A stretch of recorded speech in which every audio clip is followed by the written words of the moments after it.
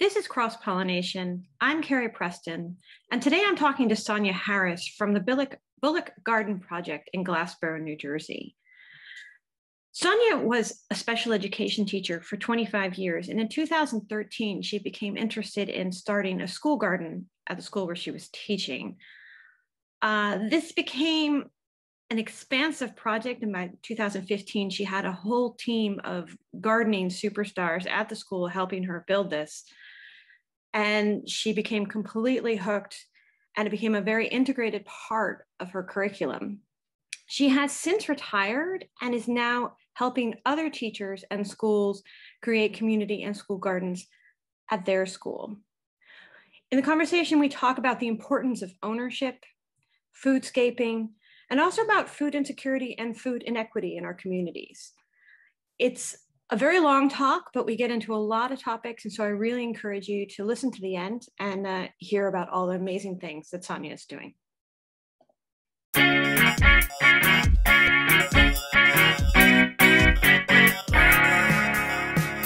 Cloud. All right, we're going. We're recording already. So I'm. This is actually just us meeting because I I love it. I love yeah. it, and you're in one of my favorite favorite places in the world. Do, do, do you have have you been to Holland?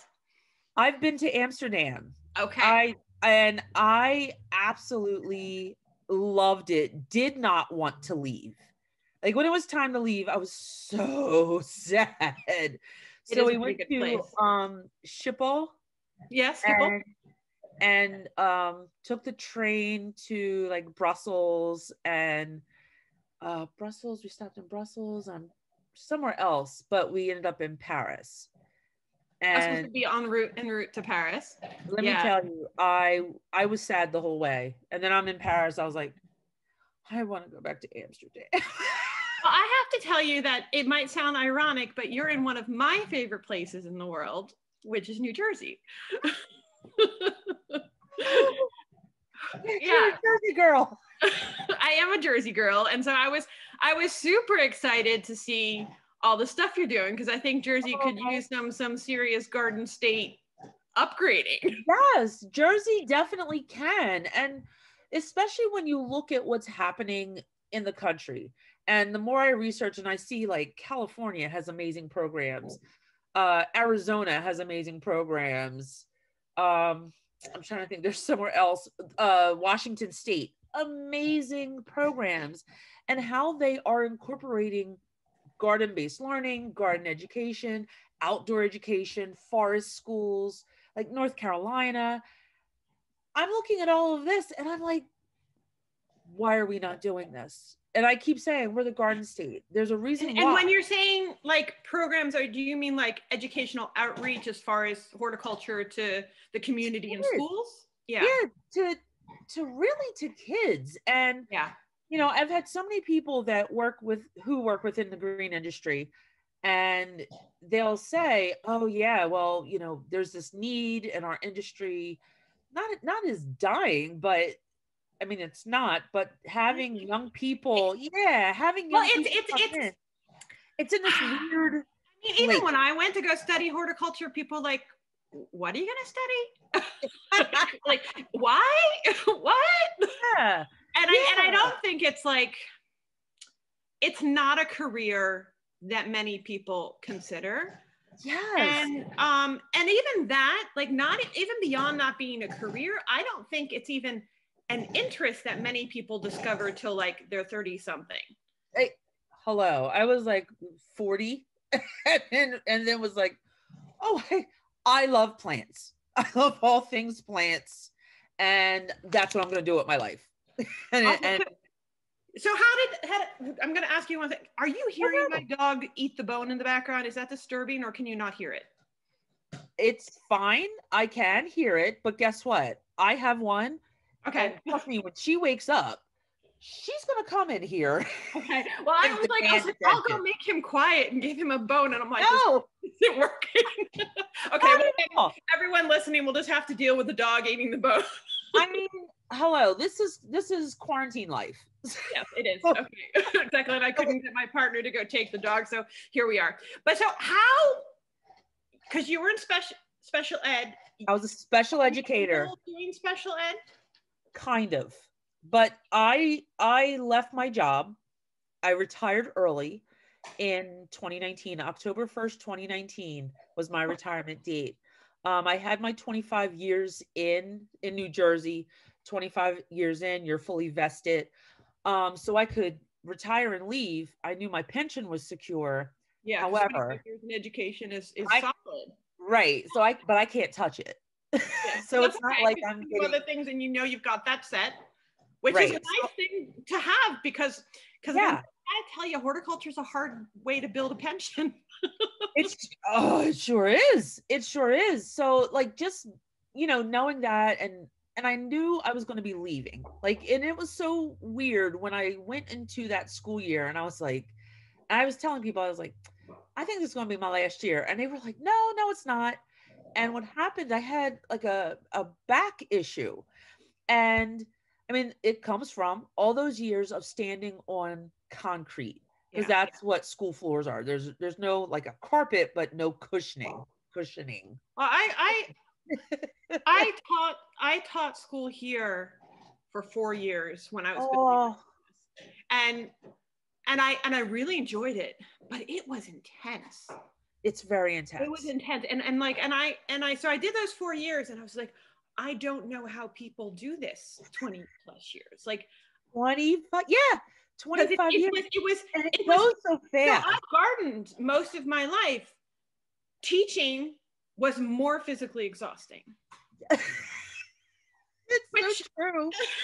It's so true. Let me tell you, on Fridays, I would come home on on Fridays, and people knew Fridays. Don't ask me to go out on a Friday night.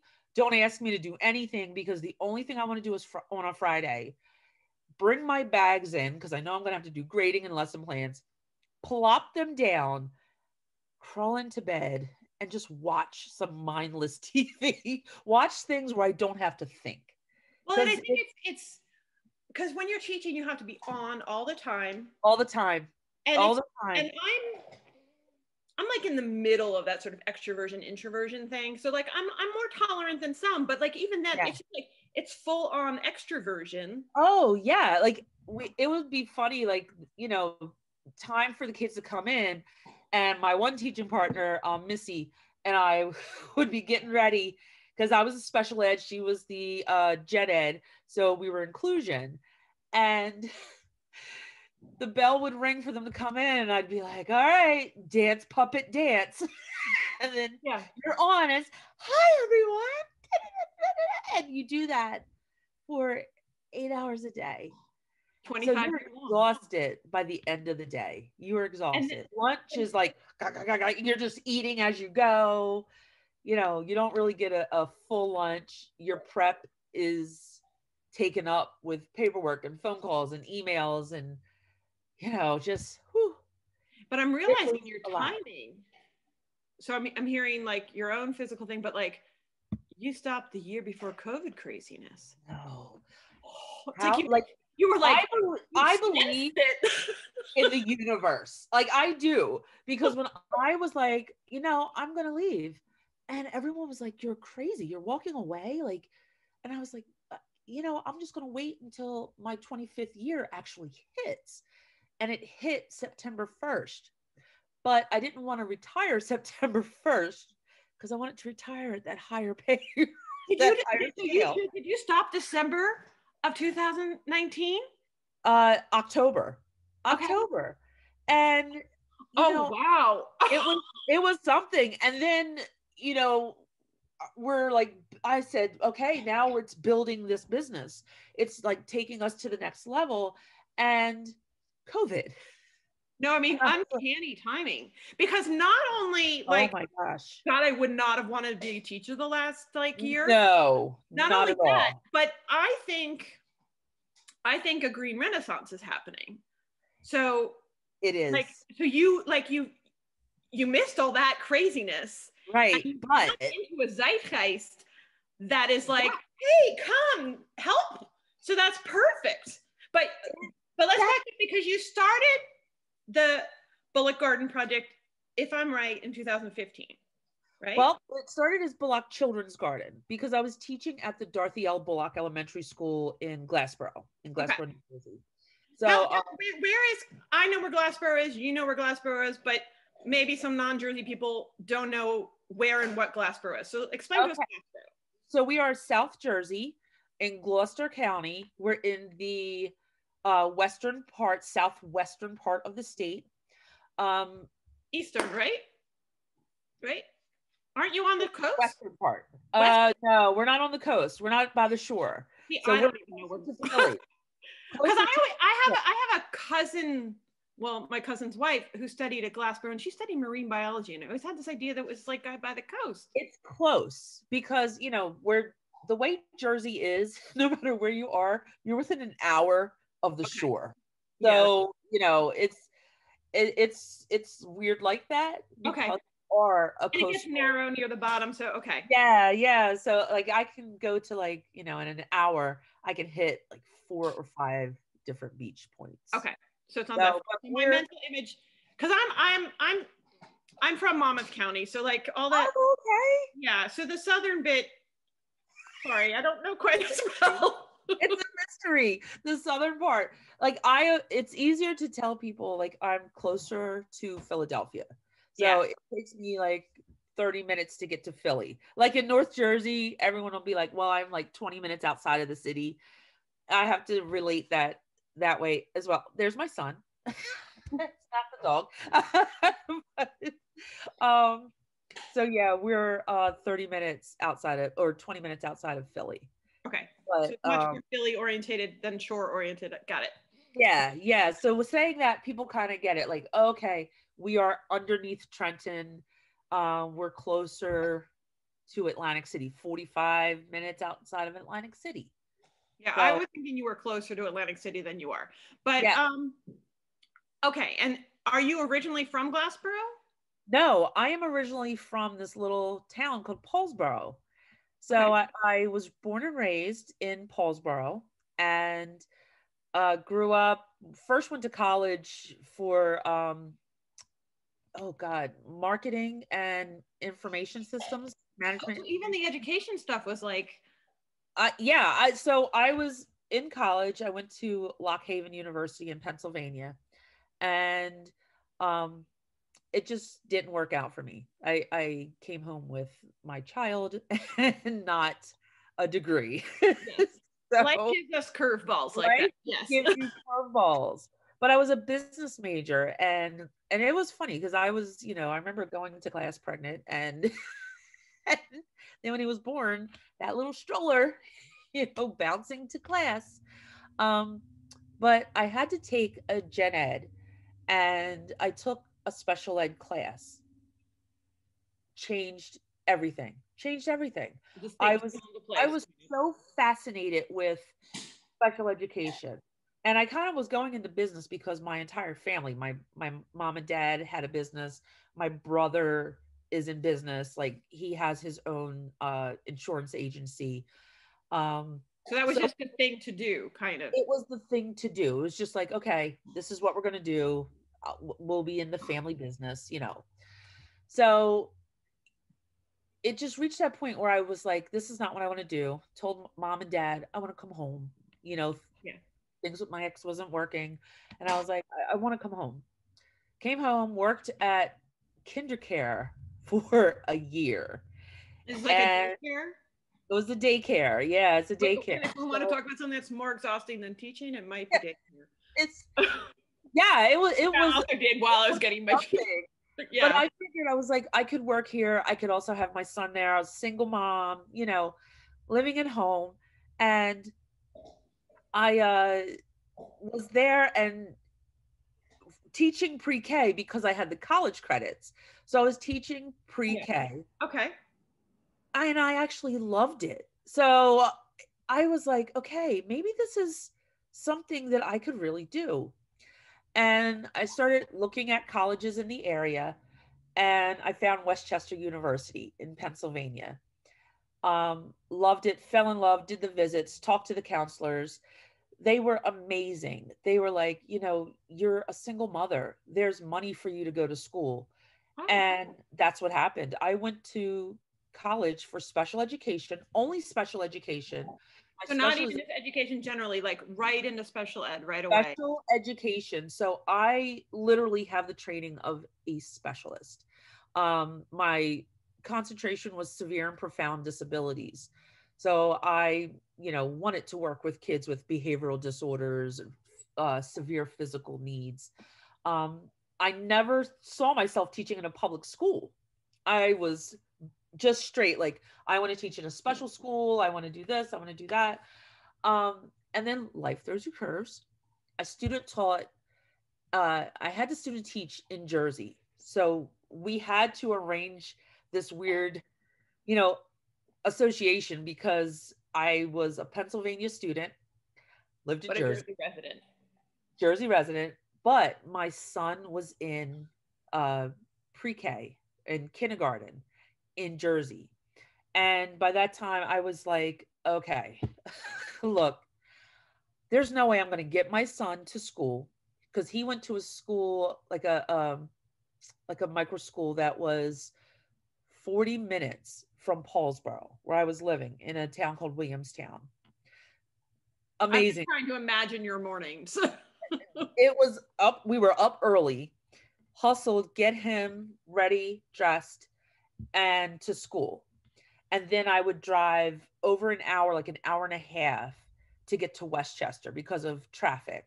So I'm telling you, I would do stuff like I would study like in the car. You know, this is back in 90. I graduated in 98. So like 94 to 98. My son was born in 92. Um, do the math. I'll be 50 this year. like I'll be 50 this year. Um, so 50 is a great age. It's uh, yeah, I'm excited. I am so excited for it. I think if you're doing it right, this is like you're getting into your swing at this age. It, it is. It's like you know who you are and you don't care about anything else. You know, you're just like, you know what? I'm I'm happy with me. Mm-hmm. I don't need anyone else's input.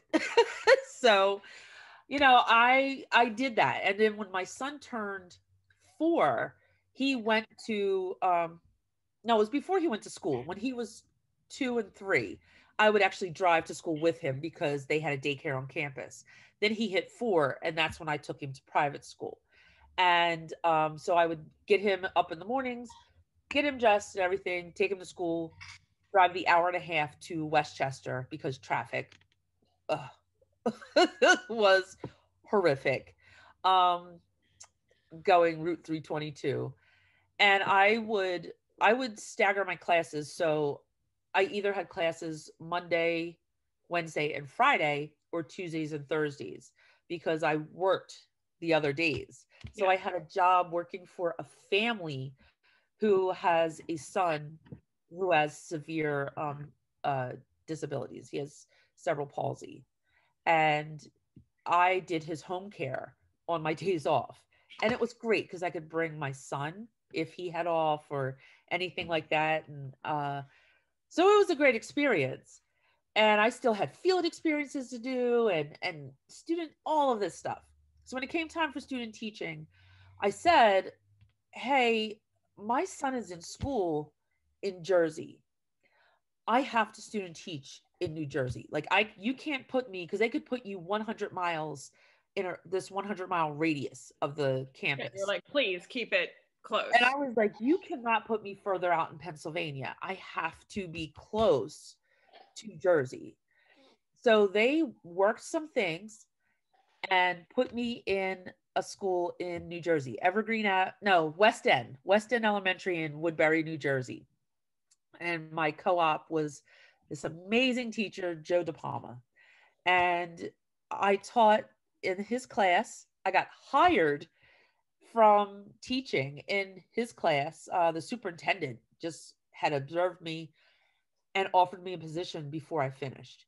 So I graduated on a Sunday and I started work on that on a Monday. Well, I'm, I'm sensing from you that you just you just sort of feel where you need to be and you let life just let life just take you like and and it's always about passion like i believe i've always believed in letting the universe kind of just dictate your path i've always been i've always been a hippie i've always been a hippie but now i'm just like you know what i'm embracing it I'm just embracing it. I'm an urban hippie.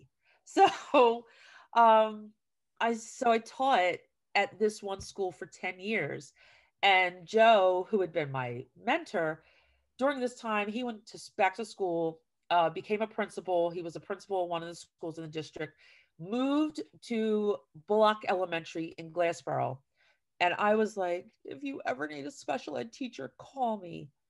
And he did. and I was like, I'm out. I'm And going to work 25 for years later.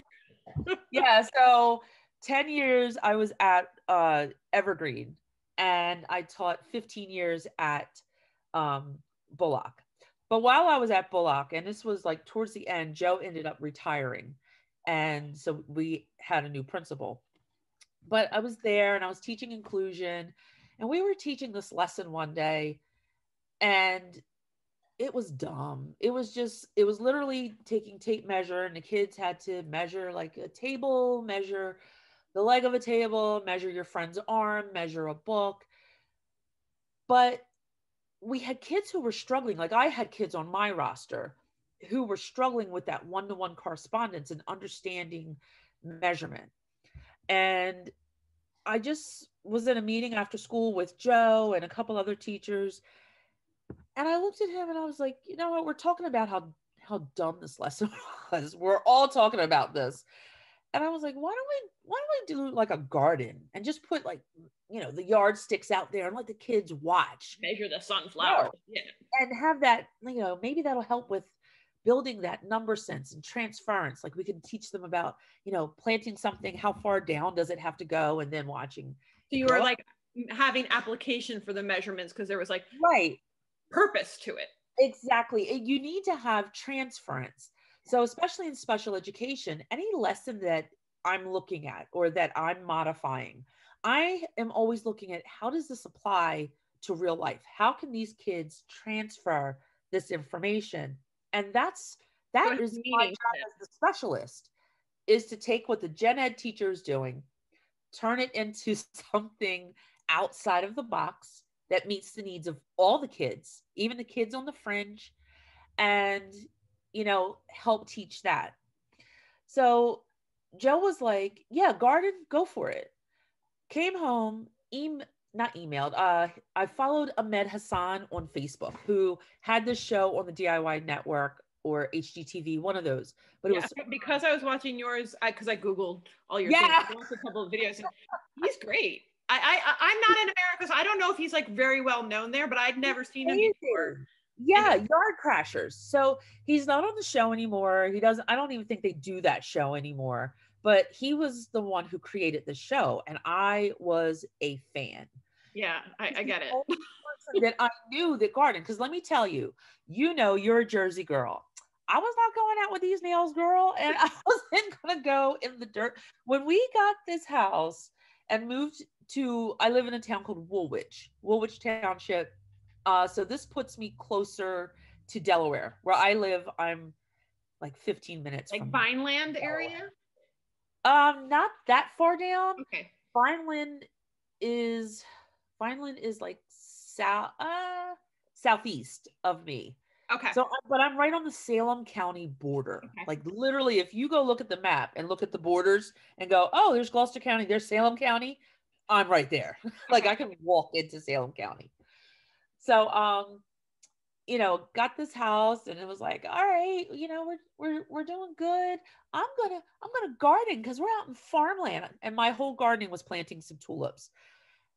Honey, a spider came out of the first hole I was doing. I dropped everything, ran, was like, I'm done. I'm I'm done. So there was no there was no gardening so happening. when you had this idea for the school and you contacted Ahmed, you were still kind of in that state of mind.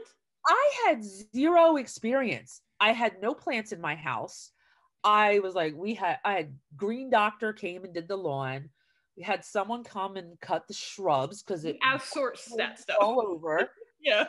green space. And there's like an acre of land. So, you know, this is literally farmland. Like I can walk down the street and get to cows. Yeah. That's how like out this is. No experience. Ahmed answers me back because he was the only person that I knew that that I followed that it was any kind of green anything. So that's why I emailed him. I was like, you know, hey, do you have like, do you ever do charity work? We would you come and crash our schoolyard? He was like, uh, I do, but I usually do it for what's in this area. I'm in California. Oh yeah, so he's You all the way from California. He came all the way to in. California. And then he was like, look, here's my number. Um, give me a call Saturday around this time, you know, California time. Um, what are they? Uh oh wow. Four hours, three hours. Three hours behind us, yeah. And you know, give me a call. So I did. Very quickly he knew I knew nothing. so and did that endear him to want to Like- help, or was he just like, oh, oh man. I, let me tell you that, that is my bud. Like he he was he he was like okay you you really don't know anything. Because he said okay well tell me about what you want to do. And i did. I gave him my teacher spiel. That's what you're like I want to measure plants? yes we just want to do plants and we want to do this and we want the kids to be engaged. And he goes well what do you want to grow? And i was like um like tomatoes? And he goes why? Okay well why tomatoes? And i said because we're from jersey. That's what we do. And he went there is truth in that statement, though. I mean there there is and you ask any Jersey, jersey South Jersey. I mean, that's that's where you grow tomatoes. Oh my god! You ask anyone like down here, like what what is Jersey known for, and we will be like tomatoes and sweet white corn. Like I know. immediately, The, that's the three things I miss the most in Uh-huh. the world because I live in like rainy, cloudy land are tomatoes, sweet corn, and melons, cantaloupes. Oh my goodness, that is what we do. We have that beautiful soil. See, now I can talk about it and be like, oh, we have that beautiful soil. It's that downy soil from New Jersey. Yeah, yeah. So yeah, he's he was like, okay, no, that's not what Jersey's known for. And I was like, yes, we are. Um, Jersey. What was he convinced we were? What is he? What was he convinced Jersey was known for? He's like he knows what our export is. And he was like no jersey is known for blueberries and cranberries. And i was like too. i was like no it is Well, sweet no, white he- corn and tomatoes you know? And he just was like wow okay. Well what kind of flowers? And i was like um tulips. And he said why? And i went because they're my favorite. He was like so you know nothing. I was like no. Like he's like do you have a garden? I was like no. I like i have shrubs. I'm, and he's asking me what kind of plants i had in my yard. I'm like i don't know. Whatever the landscaper puts there. Like so i don't know. I don't tend You- to so- have So six years ago, you you you knew nothing. nothing. Like buckus. Nothing. Like i said i didn't have anything green around me. No plants. And i grew up my mom always had tons of plants in the house like our windows were covered in plants i mean we had cherry tree in the yard uh peach tree she had a sassafras tree So so you like had all the reasons and the environment to know stuff. Right. I did, but I never tapped into any of it.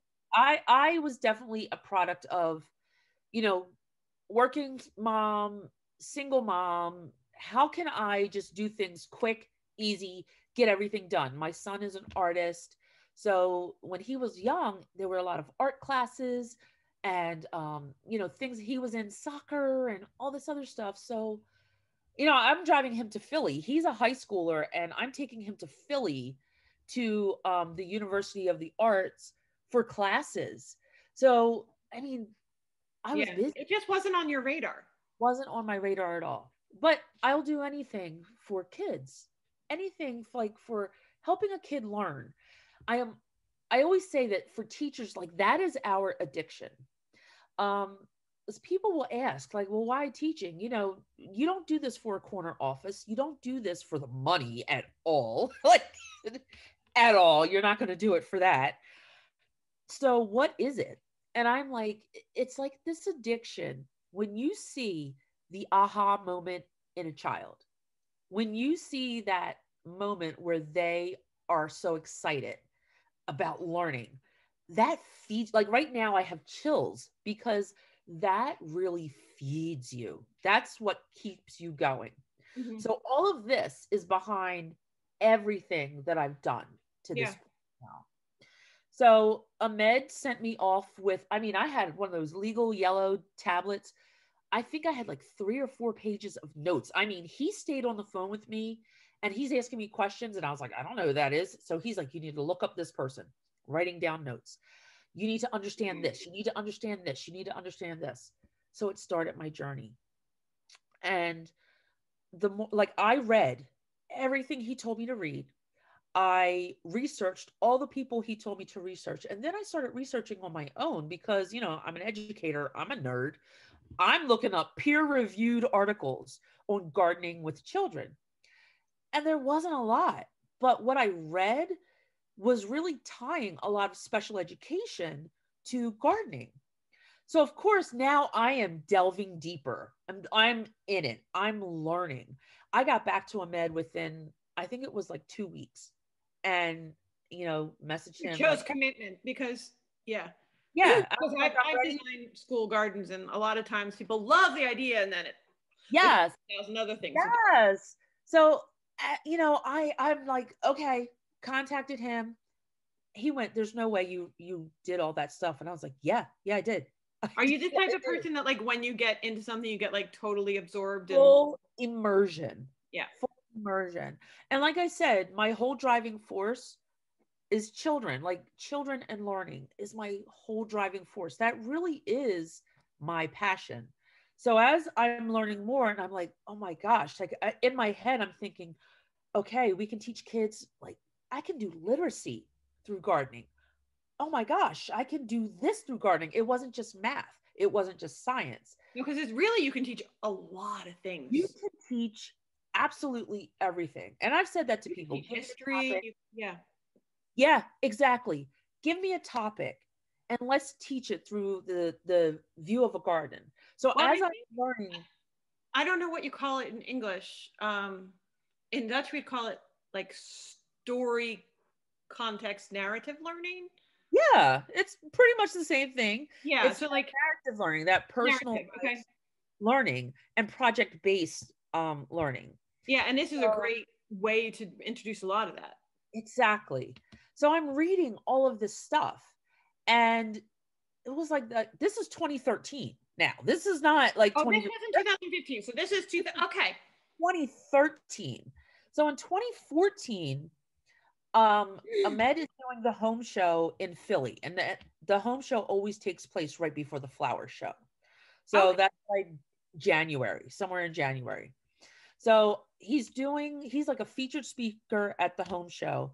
Um, and he's doing it with a landscaper from this area, from Berlin. I don't know if you know about Berlin. That's in Camden County. I don't know Berlin, no. Okay, so I'm realizing that my, my South Jersey cred is low.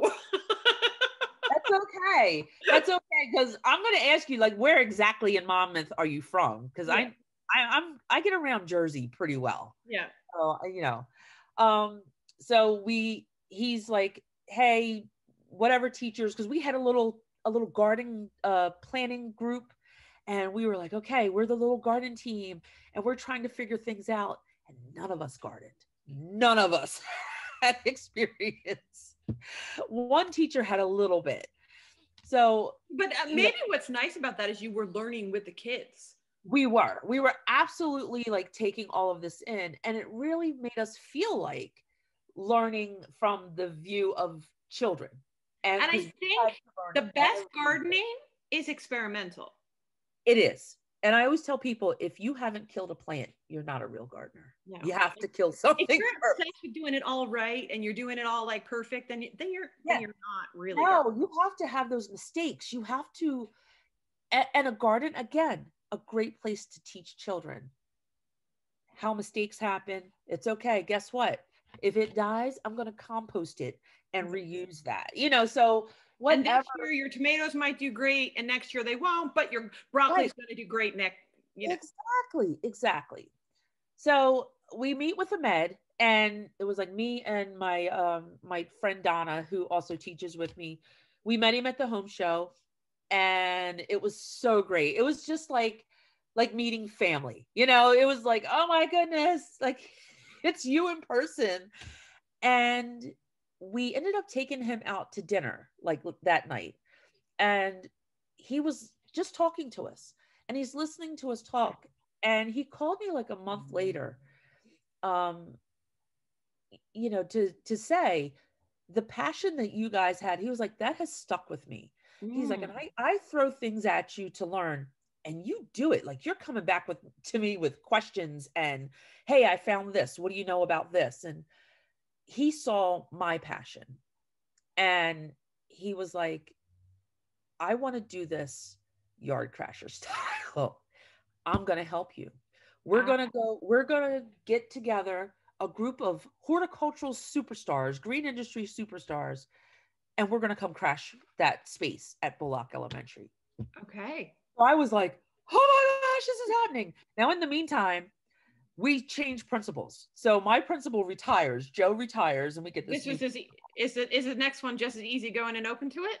He, you know what? He was just like, whatever because if you're in charge of it and you make it happen go for it like i i remember when like he was first in the office and it was summer and we're like there meeting him and it was like hey um we're doing a garden thing just so you know and he was like okay because he had been the principal at the um pre-kk building so bullock is a grade one two and three building okay so he would, had just moved over and taken that position. So here he is, brand new into a school, and he's got this wild teacher coming up like, "We're doing a garden, just so you know." Not okay. asking, informing. but let me tell you, when when we started this, I never asked anyone, "Could we do a garden?" I was I just. think this is the right way though, because right. I think if you ask, then it gets like all sort of bureaucratic, and I think when do things fail in gardens is when you think about overthink it yes and then you try to get too many people involved yes you yes to, like go for it and then it happens yeah. and once it starts blooming and happening then people get excited exactly and, and that was that was my approach because i knew of another teacher who had asked for a garden she had a, went to the board and they said no so I was like, this is for the kids. I'm just doing it. Like, I'm just gonna do this. And we was like stealth, and first she just planted some of these things. Yeah. yeah. Well, we weren't even we weren't even thinking that we because we still didn't. I still on all this time and all my learning still had not actually put my hands into some soil. I was, I was. You're just learning in your head as a teacher. I'm learning because I need to apply all of this that I'm learning. I need to apply it. So we're talking back and forth and you know we go from february february and the garden is being built we planned for the first weekend in may because we wanted to make sure it was past you know jersey you never know april because they wanted to do like march and we were like it you can, march be can be cold like we can get snow up through like the end of april and so we just figured, okay, May, May. And what was funny, it had been freezing all the way. It had been freezing up to the beginning of May. They descended on Glassboro and it was like the most perfect. Ed, Brie Arthur, Dwayne drawn from Vizex Design, Rich LaRue, who does like he's does filming and um uh production in LA. Uh oh, man, this guy, uh, oh, your Oviedo handyman. That's his business. But his name is John, and he's from, I can't believe I'm blanking on his name. I feel so bad because he's the sweetest guy in the world. Um, It'll come to you. He he was in Florida. Um, there's another woman, her name is Bev. She's a travel agent, but she was kind of like a the project coordinator. Okay, because she so she organized everyone coming inside. Right. She did all the travel stuff. Which you need I, I'm getting all these emails while I'm at school. So I'm teaching and coordinating this giant build. And I still have the binder. I'm looking, it might be in my office because I'm a teacher. just this giant three ring binder. binder I think out of one of the everything. four inch binders. and on it, it just said Bullock Garden Project. And that's where I kept all my notes because I'm, I'm one of those people I like to write things down. I kept all of the notes that we did. Um, luckily, I had done all of the work on my home computer because I mean, our school computers, I didn't like them. I had like a nice Dell at home. So I was like using my home computer. I would come home and and just focus on the garden. And they came and March 2nd and 3rd, we actually, or May 2nd and 3rd, we went and just crashed this space at our Well, school. it's amazing if you get uh, that large a group of people who know what they're doing, what you can It- achieve in a couple days. it was incredible because Ahmed had since he had hooked us up with the landscaper, he designed something for us. We did not get that design. We got something 10 times like I mean, it was a beautiful design, but we got on a way bigger scale Because it just sort of like morphed organically in It did. It did. So but we had energy was we there. had donated pavers. We had um, Glassboro lumber and um, oh my gosh, Bridgestone and all of these different these different green businesses around the area that were just donating because they were like, oh, this is for kids. Because we started advertising it. I, you know, I'm using my social media. We're a garden is coming. We got the kids excited. Hung up a giant sign in the school. Your garden is coming, and I would see kids and be like, "The garden's coming," and they were like, "Garden's coming." No clue what a garden was for a lot of these kids, But it sounded Um, good. sounded like Christmas. but it was all about hyping them up. Because remember, I originally went to school for business. So you know how to, you know how to PR hype. and where the school is located we have um, on the front of the school it's like nice little working class neighborhood but the school is bordered on two sides by low income housing and trust me i heard a lot of you know there those people are going to destroy it so you know you got you have that little uh i was one I'm of convinced. i was one of two black teachers at the school What? I was one of two black teachers at the school. And I had a lot of a lot of my teachers who were not of the BIPOC community say, "Well, you know, they're going to destroy it." And I was like, "No, they're not. No, they're not." But I don't think if people see that something is cared for and loved, it's Right. very rare that people destroy it. But it's also ownership. That's what I mean. Like, One of my big things was that's why I was like, you have to sell this to the kids. This is that middle row of cereal. When you go, you know, to the grocery stores here in the US, the middle row is Cocoa Puffs and Froot Loops and Reese's Pieces cereal, whatever it is. And they do that for a reason because it's child level.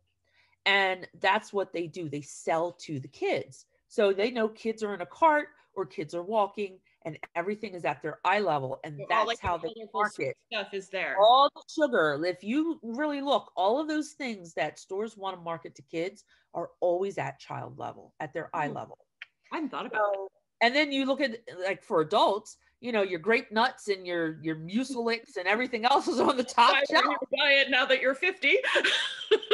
all that stuff the bran flakes you know, on the top shelf because that's what the adults are after so i was like no if we sell this to the kids they're going to they're no They'll sell it to the rest of the community. it's Exactly. going to be fine Yeah.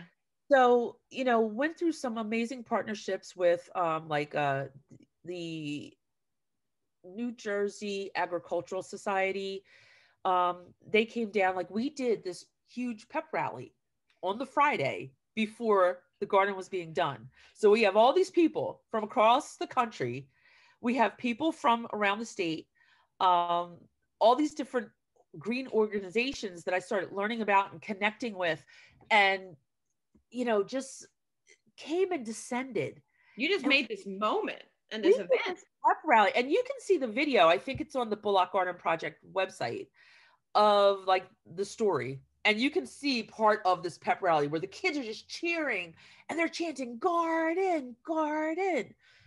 But like right before that, a couple months before that, the superintendent like I happened to see him at a meeting and he was like, um, what is all this talk that I'm hearing about a garden? because remember, I never asked for approval. I was just doing it. And parents are hearing about it and I'm putting it out on social media and do it and apologize then to like ask permission and right. it. So I at that moment it, it was, was, getting big. Like, oh my god, like my my stomach just dropped and I was like, "Oh crap, I'm going to get into trouble," you know. But yeah, sponsors and stuff. It's for the kids. And my feeling is if I'm going to get in trouble doing something for the kids, oh well. So I just told him and I was like, Dr. Silverstein, I called Dr. Dr. Silverstein. I said, this is what we're going to do. Blah, blah, blah, blah, blah. Planned it out, you know, telling him about it. And he's like, well, why? And I, and I, started telling him. You had all your because I have been studying. I'm an educator. I'm, I'm a nerd. I go full immersion. So I've been studying all of this and I'm talking to him about it. And then I find out through this conversation, he's an outdoors guy. He that this is an amazing idea. So he was like playing you. He's like, "Hey, what's this here? I better." Yeah, and and then, I mean, I wasn't like, uh, "Oh, well, I'm doing it." This is my personality. Yeah, I can't imagine you ever being like, "Oh." like a- and it's funny because I'm an extroverted introvert. So I do cut like I will talk to anyone, but I have those moments where I'm just like, I just want to sit in the corner and not be noticed, you know. So okay, I'm not uh noticing those moments right now, but I'm sure we all have them. Yeah, you trust. My mom said I came out blabbering, and I she was like, yeah, and you just never stopped, and that has been me. So I, of course, I'm excited, and I'm telling him about it, and I said, I know I didn't go through the proper channels, but Dr. Silverstein, I think this is a great benefit for the kids. And he said, I agree. And I think this is a great thing you're doing. And I was like, like really? Oh my gosh. And let me tell you, having the support of your administration means a lot. My principal walked into this thing and was just like, whatever you need, whatever you need. Like, you know, I would go to him and be like, hey, uh, I need to do this. And he'd be like, okay, whatever you need. So I was very thankful that I had a supportive administration for for this because everyone believed in the outcome, which was the benefit for the children. So we do it.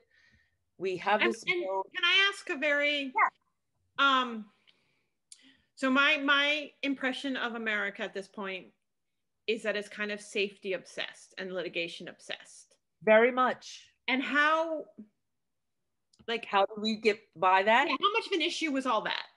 It really wasn't. And that again goes back to my superintendent because, you know, he really sat with me and talked about it. And we brought out um, the grounds and maintenance director and looked at that space and we just made sure that certain things weren't covered um, in jersey they're not allowed to use toxins um, in any grass space anything around a school so we were like okay the only thing we worried about were like maybe mice or anything and we learned from Brie Arthur, who's amazing. She's amazing. Yeah.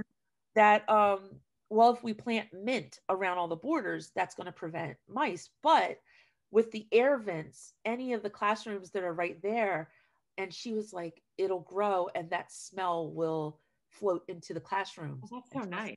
It did. It was it was amazing. Like if someone would go past and that type of stuff that kids actually care about. Yes. Like one of the things that I was fascinated about when I was when I was doing sort of when I did teaching, I did a little bit of the horticulture stuff with it. Um, right. Amsterdam has um, school gardens in what would be the equivalent of fifth and sixth grade. Right. And kids, kids are not at all interested in aesthetics. They're all about like, what does it do? What is this? But like, it's got to right. be like, like right functional and, and exactly. like they want things they, to do stuff Right. It's the adults. It's the adults that are the problem. So, yeah, so we do this whole thing. I mean, our agri- our Secretary of Agriculture for New Jersey came down to help build. He was here. And I mean, that man got dirty. It's not like he was just there for photo ops. He took shovels and he's helping plant things. It was such a beautiful, a beautiful thing to see so many people come together for the sake of children, for the sake of these kids. Because also in this, all in this, and I'm learning about, okay, food insecurity, because this is another reason why schools have. I'm glad to hear this. So I was sort of wondering about it, especially like because you're talking about the low income areas and yeah, and I'm getting this idea that like you're the program's going further than the school and that like you're reaching out to families in Glassboro. Right. And, and I'm really like Camden is we are like and people have to understand like Glassboro has Rowan University, beautiful college, beautiful space, but then you have this other microcosm that's there and that's people who are really financially hurting. It's like an urban it has urban um qualities in a suburb in a college town like unheard of you know? So uh, while i'm going through this and i'm still like with my first grade partner teacher missy and we're you know one day the kids we always took lunch you know roll call for lunch in the morning as we said their name and they would say like what they wanted for lunch if they were buying if they brought their lunch you know, or or what whatever. So this one little girl had said that she brought her lunch. So I'm getting the kids together and and you know, I'm like, okay, sweetheart, get your lunch. And she brings like one of those little tiny sugary huggy drinks. Mm. And she had a little bag of chips. And I and I mean like a 25 cent bag of chips. And I said, no, no, baby, not your snack. Go get your lunch. And she goes, this is my lunch. And I was like, that's not your lunch. Went and got my purse, walked down to, uh, got my wallet, walked down to the cafeteria, of course, with the kids. And I bought her lunch. I, I was like, what do you want? And I bought her lunch. And then that really made me start noticing the food. What are the kids eating? You were paying attention what other kids were eating. Yeah. Right. So it, it, I had this other focus and all this is while we're plan- planning this garden. And I'm getting to know Brie and I'm learning about foodscaping. And, you know, Brie is telling me how, you know, yes, bring in vegetables and we're going to do this and we're going to put food and, you know, edibles and ornamentals in this garden. So I'm really looking at now, what are the kids eating? And let me tell you, I got, I, I, I got called to the superintendent's office like twice because of me calling out what kids were eating. And this is like after like a couple years after the garden had been installed. Um but it was all good. But like calling it out like what because were you social media. Oh let me i'll like oh, i'll get social media. Yeah okay. Oh yeah. I get it. Did not care squeaky wheel so um yeah but it's hard because i think like well no okay i think most parents really want to do what's best you but, they want to do what's best. But they don't necessarily have the knowledge or the ability. Exactly. So looking at that that food insecurity, what I started doing is looking around like where my kids were living. And both um, housing developments have like the little bodegas in front. And I would walk, like I walked into one and I was like, there's nothing fresh in here. Nothing. It's all junk food. I go into the other one. I think they had like maybe a couple of bananas. That was it. That was it. And, and are there supermarkets in those neighborhoods, or is it just really these sort of bodegas? these two bodegas, and then it's fast food because it's a college town. So there's pizza places. I mean, literally all around, pizza places, hoagies. You know, all of this stuff, all this junk food. And the closest supermarket, if you lived in the complex that's the closest to Bullock School. Like literally, you can walk across the yard and get to this one complex called Hollybush. Um, if you had to walk to the grocery store, you're walking like two miles. Yeah, and that's too far. It's too far. And it's not like you can get uh, the New Jersey Transit to just drop you off at the grocery store Like that's not something that they do. So if you don't have the means or you need to get there, and I've seen many parents, like when you really open your eyes and you really start, that awareness comes in, you see everything. So I really started seeing like what my kids were bringing to school. And I started really noticing kids being lunch shamed. Like, you know, oh, your parent has a bill. And my partner and I would just go to lunch with our wallets. And quite a few teachers started doing that because we really started talking about like, how are they like doing this to kids? And I mean, we knew a lot of the backstories. Sometimes kids would go to lunch, like that little girl, and just be like, I don't want this, and order what they wanted. And it would just get billed. Parents get a bill. And sometimes these kids were doing it every day.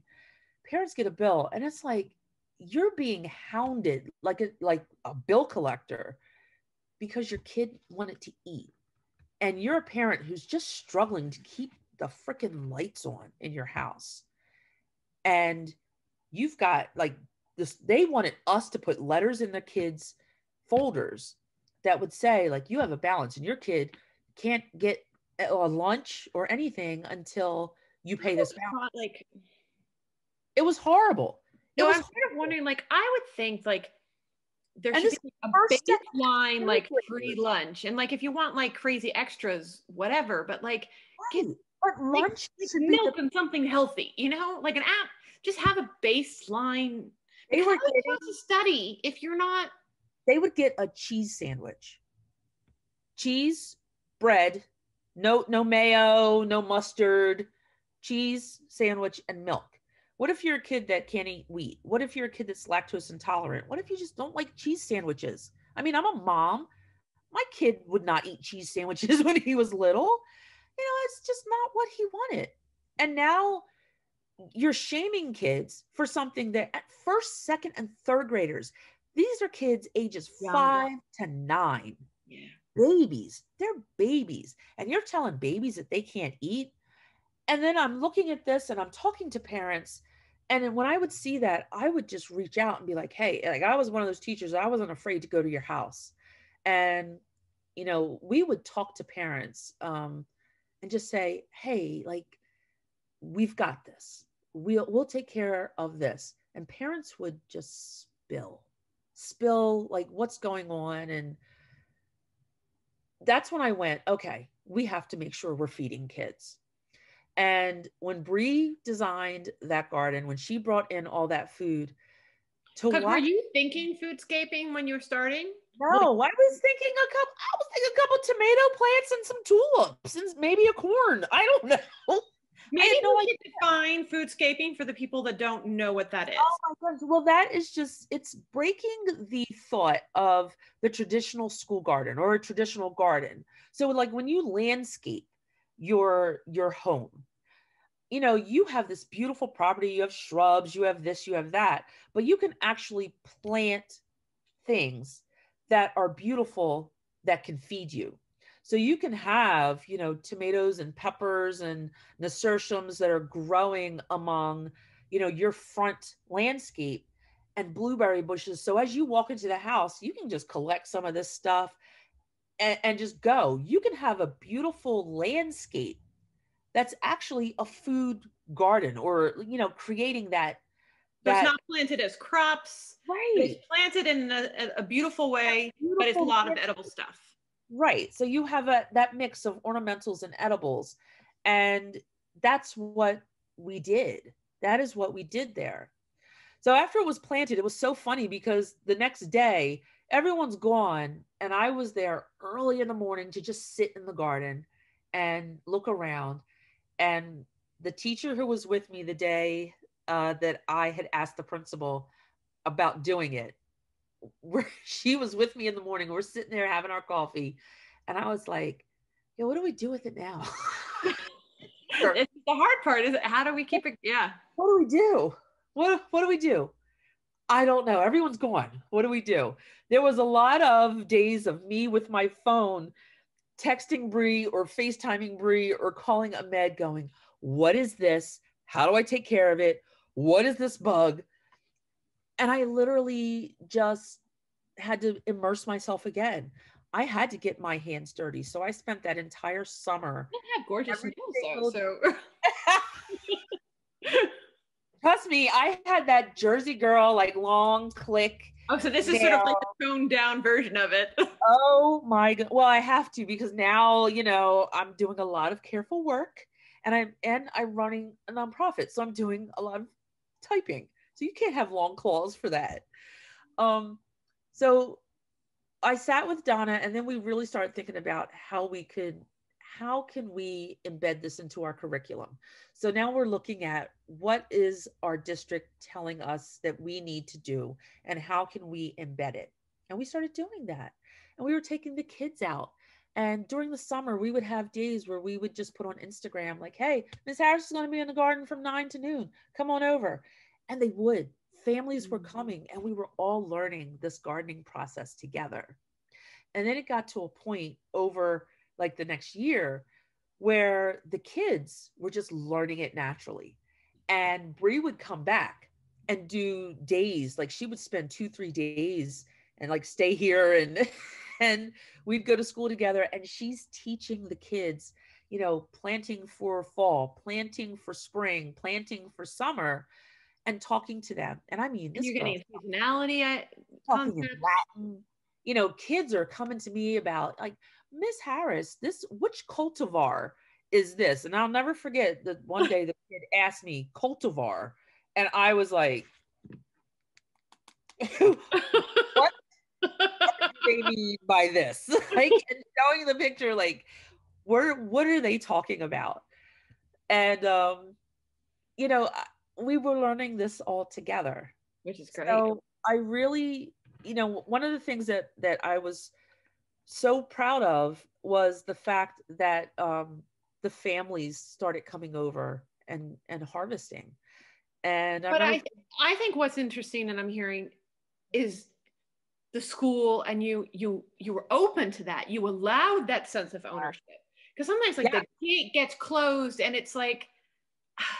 That's right. I refuse when people kept telling me put up a fence, and I was like, nope, we're not putting up a fence. Um, it was vandalized once, once, and it was right after it was built. Some kids over Fourth of July went in there and vandalized it. I get a call on like the sixth. You know, the the custodian is like, "You gotta get down here. The garden was vandalized. There are kids, and this is over the summer. There's kids who are here, and they're crying." So I'm like, "Okay, I'm on my way." I get down there. It's like a couple blue a blueberry bush was pulled out. A couple tomatoes were squashed. But the children saw this and was like who would do this to our garden? Because we had built that ownership. Yeah. And i would say all the time when the kids would be like oh your garden. I'm like it's not my garden. It's your garden. And we really had that culture in the school where we said to the kids and the principal even like bought into that and said it to the kids like your garden your garden. So we had a cleanup day. So important. The kids in the in the low income housing developments in the projects, those kids created a garden patrol. And I can't remember what they called themselves, the garden keepers. That's what they called themselves. So these kids, and I mean not just the kids who went to Bullock, older kids, younger oh, they kids. They didn't even go to the school kids who didn't even go to, to the school because we have because a, they could go there on the weekend and out right. It's ah. open for the entire community. Yeah. And these kids were coming on their bikes and they would they would come to make sure no one on the weekends was touching the garden. And the kids found out who actually had done it reported it to one of the school officers. This was a kid who didn't go to bullock. He went to the other building the fourth fifth and sixth grade building they told the resource officer, the officer calls me and he's like, What do you want me to do? And I was like, I don't know, just hate, you know. Kids are just going to shame him. Kids have done this, like, just like, you know, let them know that, that you found out who it was. Not cool. Yeah. Never happened again. Yeah. And that was 2015. So in 2015, in 2015, I, I think this is the way it goes. If there's ownership, and it, like for an example, like in New York City, you have yeah. a lot of those um, movable chairs everywhere. Right. And when they first were starting that, I think it was the Metropolitan Museum of Art. yeah. and they were convinced that like all the chairs would be stolen. But the amount of money it would take to lock those chairs down and close it up yes. is more than like the f- one chair that's stolen. Chair. That's right. That's right. So it's you know when I said when you put up a fence, you say this is not for you. This isn't yours. This is like this is ours, and we don't want you here. And I was like, no, it's going to be open. And then people are like, well, what if deer come? I said, then, then deer come. This is what this is what we have to teach our children that this is nature. There, well, and, and, and, well, there's just such a large metaphor in this. I mean, so much. And then we, you know, we had kids who were coming and, oh, I can't go in the garden because I have my new sneakers. Too bad. Mommy shouldn't have put them on you this morning because you're getting dirty. And then the, they did. And kids, like the little girls in dresses. And, you know, we have a picture somewhere of this girl and she is out there. It's a day that Brie had come and we had the kids um, uh, getting all of the topsoil and moving it. And she's out there in her dress and her little shoes, just digging away. And it's, it was absolutely incredible.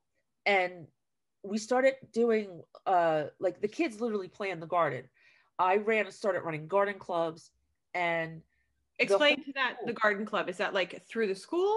Like as a teacher, I did it as an after school extracurricular. Okay. Like kids that want to get involved and wanted to help take care of it. And yeah, I actually did the junior master gardening program with these kids. And because, you know, I was like, oh, I can't be a master gardener because they do all the classes during the day. So when I retired, that was the very first thing that, I did. But um, so yeah, I, I became a Rutgers certified master gardener. Um, so what we started doing is having the kids vote on what do you want to grow and they would do this during computer class and the music teacher was doing you know different things with the kids based on gardening like she did this little play with the kids based on gardening the world cultures teacher would talk about you know like cesar chavez and the, the importance that he had with farming and and farm workers and everyone everyone bought into this and because it they started teaching kids history, language, reading, science, music, art, everything through gardening. We started noticing that um, the kids were eating healthier, of course, because I mean, I had kids that would say, Can I go get cabbage out of the garden and have that with my lunch? Yeah. Cabbage? kids asking for cabbage. Down there. Yeah. And let and let you pick whatever cabbage you want. And they're sitting there at their lunch with cabbage leaves, eating cabbage. I had kids pulling radishes out of the, and I don't like radishes at all. I just radishes don't. are like such a satisfying plant to garden with though, because like oh, so fast. Like, feed them in like two weeks. You have a yes, like, perfect so, for kindergarten and oh yeah. So we had them everywhere, and the kids would go out and just grab soil. Soil is on this. But I have now taught these kids that soil is health and it's alive and there's microbes and all this stuff because I've learned with them. And they're just eating it with the soil. They're like, it's okay, Miss Harris, it's worm poop. And I was like, do what you do, kids, do what you do.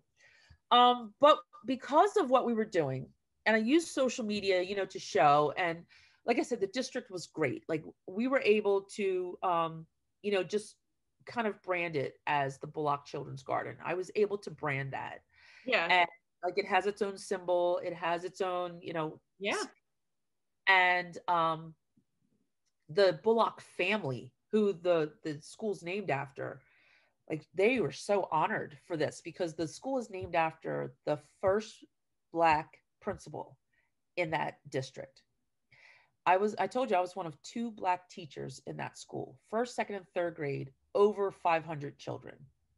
And there were times that these kids went from pre K to third grade and never had a teacher of color.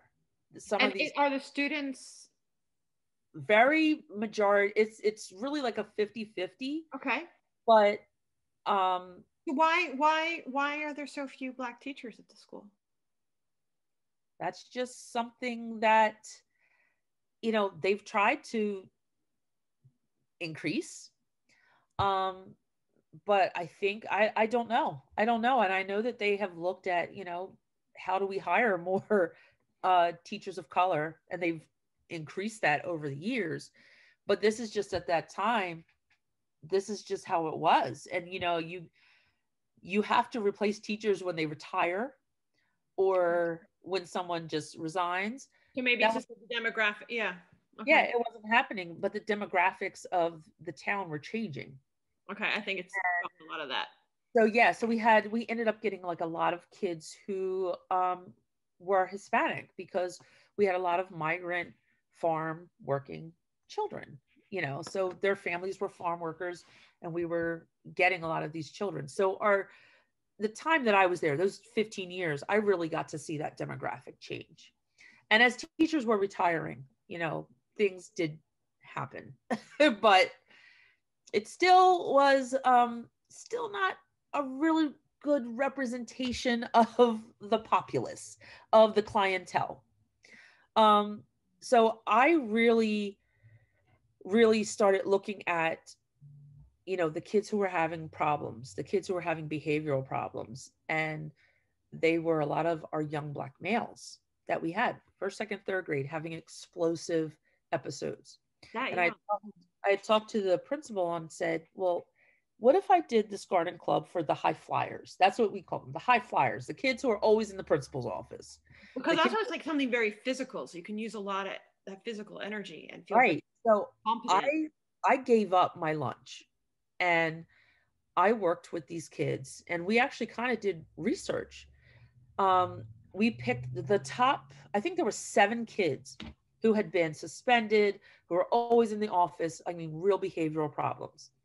And I did a special garden club with these boys. And there were conditions. They had to, um, they had to meet certain goals through the week and they had to earn like certain points and if you got those points, then you came to Garden Club. And when you got to come to Garden Club, that's when you took care of your plant. And I would tell them, I'm not going to water your plant. I'm not going to take care of it. You're responsible for this. So if you don't earn those points and you don't make it, your plant's going to die. Hmm. So out of those seven kids, we only had one that didn't make it. That that he ended up um, needing a different type of program but six young black males learned that they could take control of something and change a course. They learned about being calm, they learned about behavior. And because of these things that we were doing, and we started doing presentations and whatnot, and the word started getting out around the state. Like this teacher down in South Jersey just like bum rushed the school and did this garden, didn't ask for permission. Um, my superintendent supported me. Like when they were, the business office was asking, well, what, what plants, how many of these plants? And I was like, I, I don't know. I don't know what they are. I don't know what they're worth. Like I, I can't give you an accounting for things that aren't here that I don't know about. And the superintendent was like, just, I've got it. you know, he handled this. Um, so I started helping other teachers garden using my Bullock Garden project. And method. when the teachers meet other schools?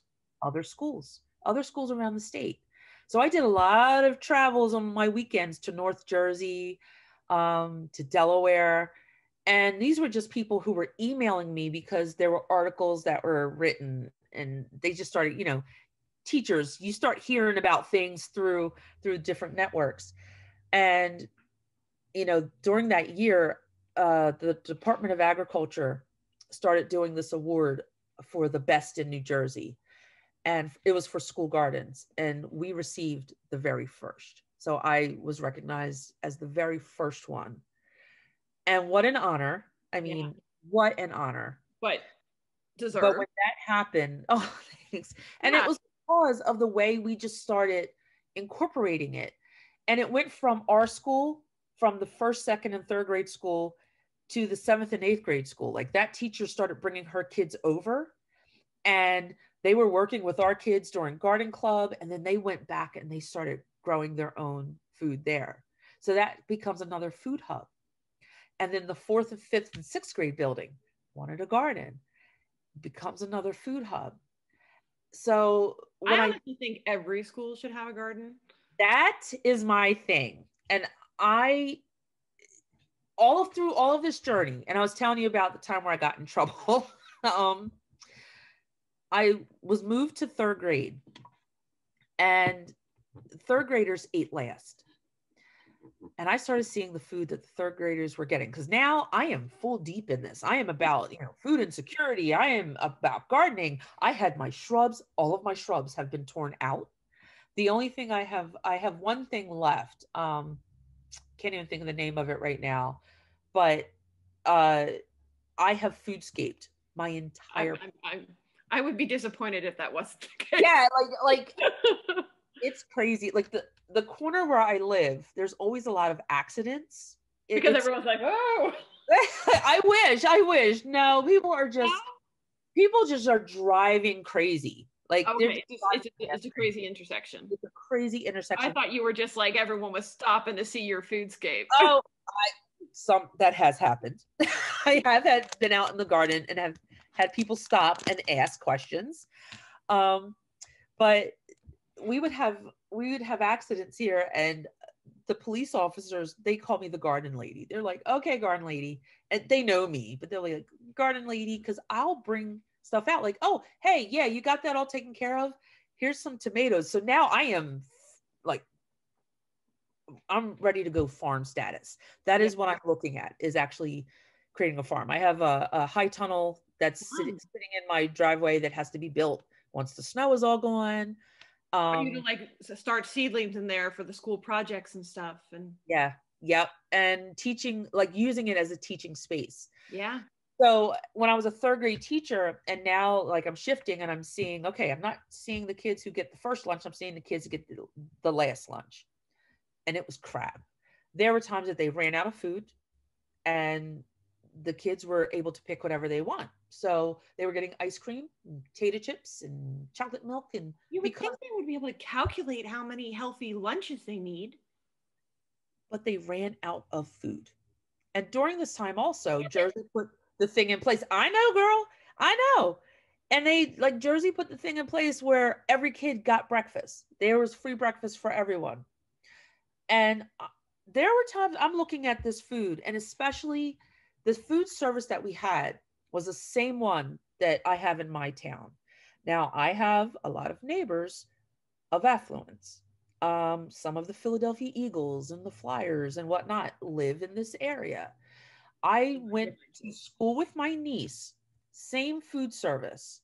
I looked at lunch and I went, Are you kidding me?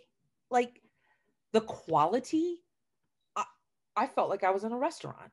It was beautiful, beautiful fresh produce, beautiful fresh made sandwiches, beautiful fresh made lunch. I'm asking them, what do you give the kids for breakfast? And I'm asking my nieces, she was like, well, we can have cereal, we can get yogurt, or sometimes we can get fresh fruit, like they'll do fruit cups. My kids were getting these stale frozen donut whole things, Pop Tarts, cookies sometimes. Um, because it fell within the allowance of that food pyramid. And I'm telling you, and it, none of the parents were going to complain in the same way as all those affluent parents are going to. And so the school service is like, we can get away with it here. We can get away with cheap, with cheap. So I was taking pictures and I posted it and I was tagging the company and I was like, do better. Oh, this is this is what you got in trouble for. Oh, okay. Oh yeah. Now I oh, get yeah. Now I get it. Thought you were like calling out like individual kids and parents, but you're calling out the food service. Okay. I called out the food service. and so I get I get a call from the superintendent's office. I get an email. Dr. Silverstein wants to see you. Please bring a union rep. Now I was in the union. And bring your union rep. Bring your union rep. So you know it's not good when they're doing that. I know. So I was like, oh my gosh like what is so i i emailed her back and i was like why what is this about what did i do like i'm thinking what did i do and she was like something social media and then i knew and i kind of was like okay like fine but you I, and I felt totally justified. I will take this L. Like I will take this L. And so I call the president of the union and we go there and he pulls out the folder and he opens it and there's a printout and I literally started laughing. And I was like, okay. And he, he was like, you gotta watch what you're posting, please. And because I mean, I put it on Facebook, I put it on Instagram, I put it everywhere I was. And he was like, You really can't do this. But this is a guy who knows that I don't act out of malice. Um, this is a person who has been extremely supportive of me and of what I was doing with the kids. He knew that I was not acting out of malice and he believed in this, but he also was like, You can't do that. And I was like, In no way did I disparage the district. I never mentioned the district. I talked about the food service and I'm comparing it to what I say anything, nothing this food service too. Right. So he was like, Well, can you take it down? And I went, No. I was like, I I can't. And let me tell you, he was so nice. Like we're all in there and I'm kind of laughing. And I was like, Dr. S, squeaky wheel gets the oil. And he was just like, just don't post anymore. Like, don't squeak quite so loud. and then my kids got spoiled milk. So I'm just gonna let you. How did how what did, did you did you not say anything about the spoiled milk? you know me well enough at this point. you know, I totally shouted that out why are we getting spoiled milk why are my kids getting milk that's and they were in there drinking this for breakfast and these kids are like it doesn't taste so great but you have a lot of kids that, that i know no, we know their only meals are what they get when they're at school we got as teachers we all started getting in trouble because we weren't returning the food bags because we were keeping whatever extra food there was, knowing that when it went to the cafeteria, when that went back, they had to throw it away because once it leaves the cafeteria, it's no more good. They can't serve it to anyone else. So we were like, we're, and I mean, it wasn't just us. There was a lot of teachers. We were like, why are we just not holding the food? And this way, the kids that we knew needed it, we were giving it to them we got in trouble for it, but we were like, whatever, we're still gonna do it. It, it breaks my heart for our kids. So yeah, I get called in again, and he was like, I'm, I'm gonna have to put a letter in your file, and I literally said, you can do that if you want, but I'm not taking it down, and um, I'm not gonna need a letter for my file. Like this is not my last stop. I I knew, I always knew always that I was not going to retire.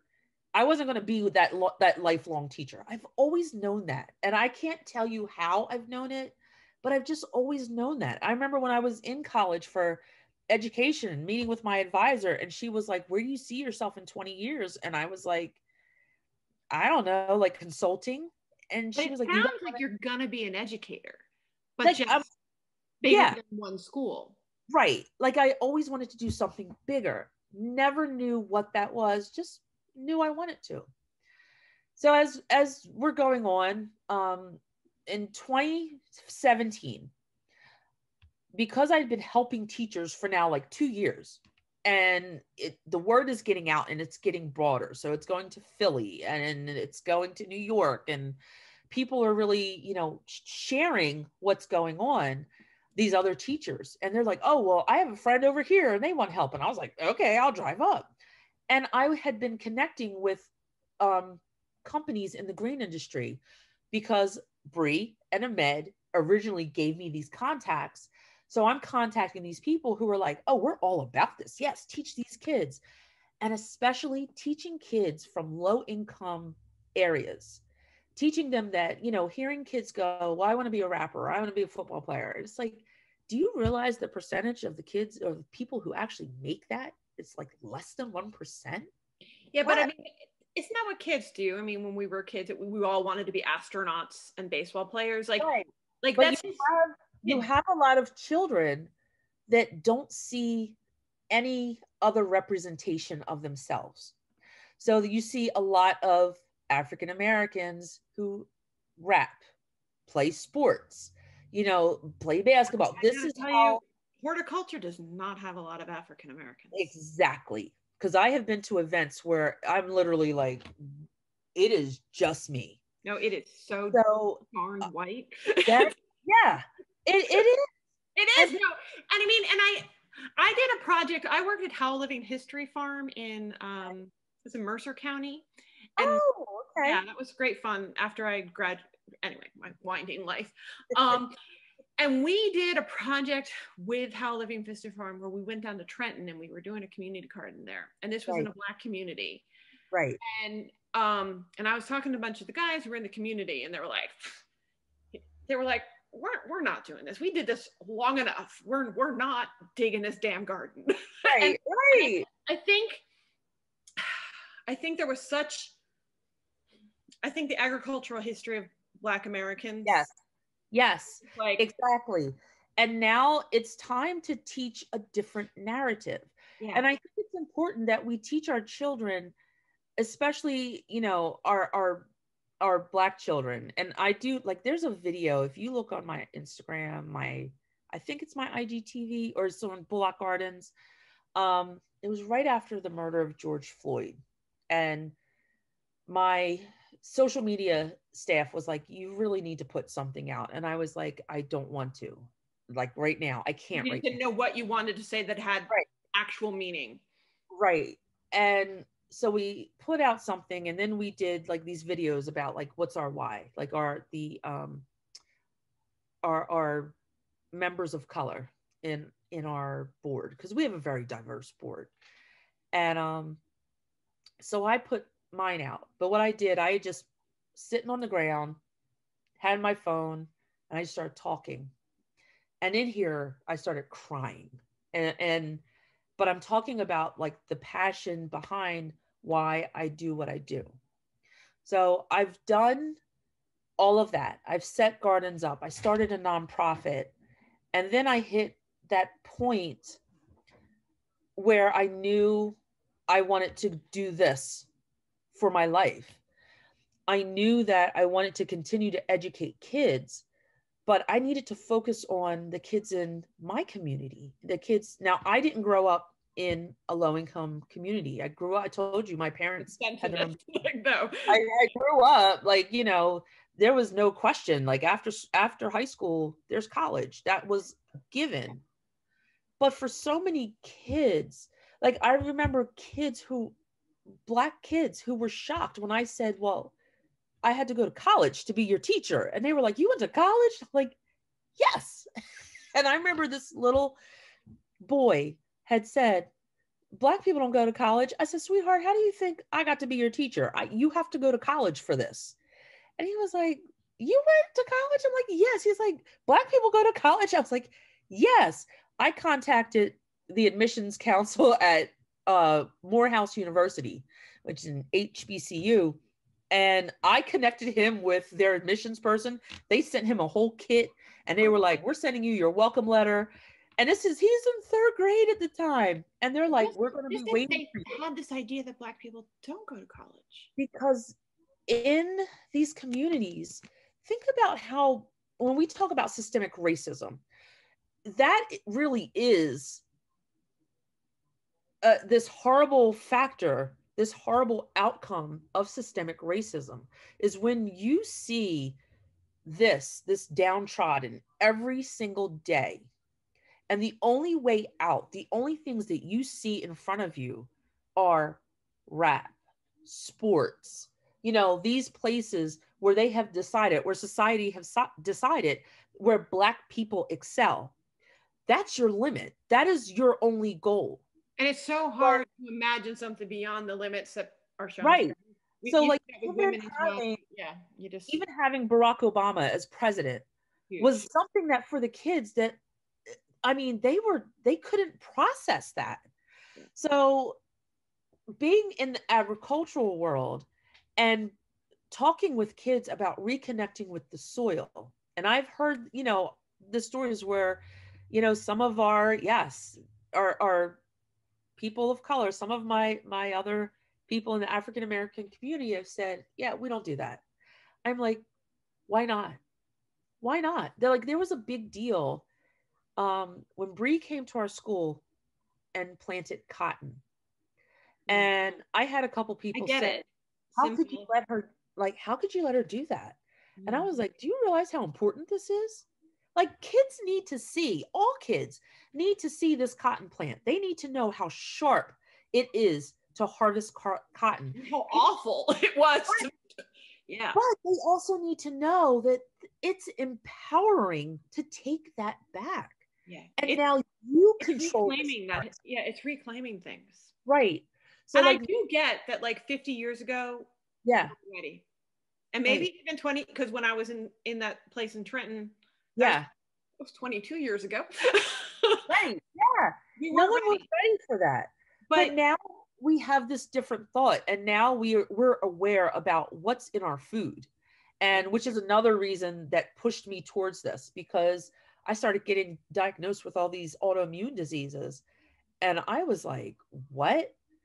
And then uh, let me tell you, when I traveled to when I traveled abroad, when I went to Netherlands, when I was in France, when I was in the UK, you don't have and- people with gluten allergies over here. or not in the same things because we're not tell you, crap on our wheat. I was I could eat everything. Like all the stuff I was allergic to, I could eat. And I was talking, I was in Amsterdam. Um, oh God, I was at this little place that makes crepes. It was the most beautiful place. It was so cute. And I was sitting there, and I'm at the time I was by myself. Um, the guy I was seeing was in business, like he's was at meetings, and I started talking to someone who was like, you know, "Oh, American, and I was like, it was funny because I went, yeah, and they were like, oh, Donald Trump, and I went, oh, I'm sorry, world. I was like, we're sorry. but it was so funny, and she sat and talked to me, and we were talking about food, Mm. and I was just saying, I was like, I have never tasted anything like this. Like even the coffee. And it was funny because the cup was so tiny. And I was like, I'm used to like this is small here, you know. And we just were talking, and she was so just enlightening about, yeah, we we don't take American food. Like you know, talking about what how clean the food is in Europe. And she was asking where we were going. And I was telling her, she's like, you're going to find food like this all across Europe. Like, this is what we do. Um, we don't take food from America because of um, all of the products. So, of course, I'm the nerd. I'm like Googling and reading as I'm like taking the, the red bus tour. And, you know, as we're on the train, I'm looking this up and I'm like, wow, no wonder they don't take our food. Like I, I knew our food was crap, but man, our food is crap. I said the simple reason that the FDA is in one house, that's a problem because they can feed us food to make us sick. You need medicine, and then you're going to need more medicine because that medicine has side effects, but you still need to eat the crappy food. And if we look at what people are getting in food pantries, they get a lot of canned products. Mm. What lines the cans here in the US? It's a toxin that helps increase shelf life. So, the people who need fresh food the most, marginalized communities, people of color, people who don't have access, people who are getting small government assistance. Trust me, no one, I've seen what some people get. When you have $250 and you have to feed a family of four for one month, you're going to pick whatever is cheapest on your shelf.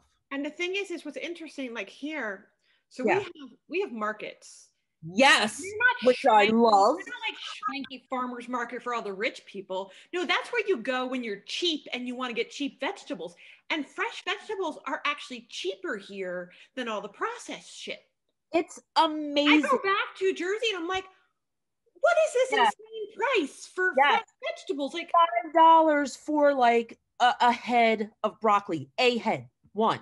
exactly. I just bought broccoli today. It was like 99 cents, you know, like I know. I I walked. I walked Amsterdam, and I I went to one of the markets. I was there. I think it was like a November, December. I know it was right before Christmas because it was decorated. Absolutely beautiful.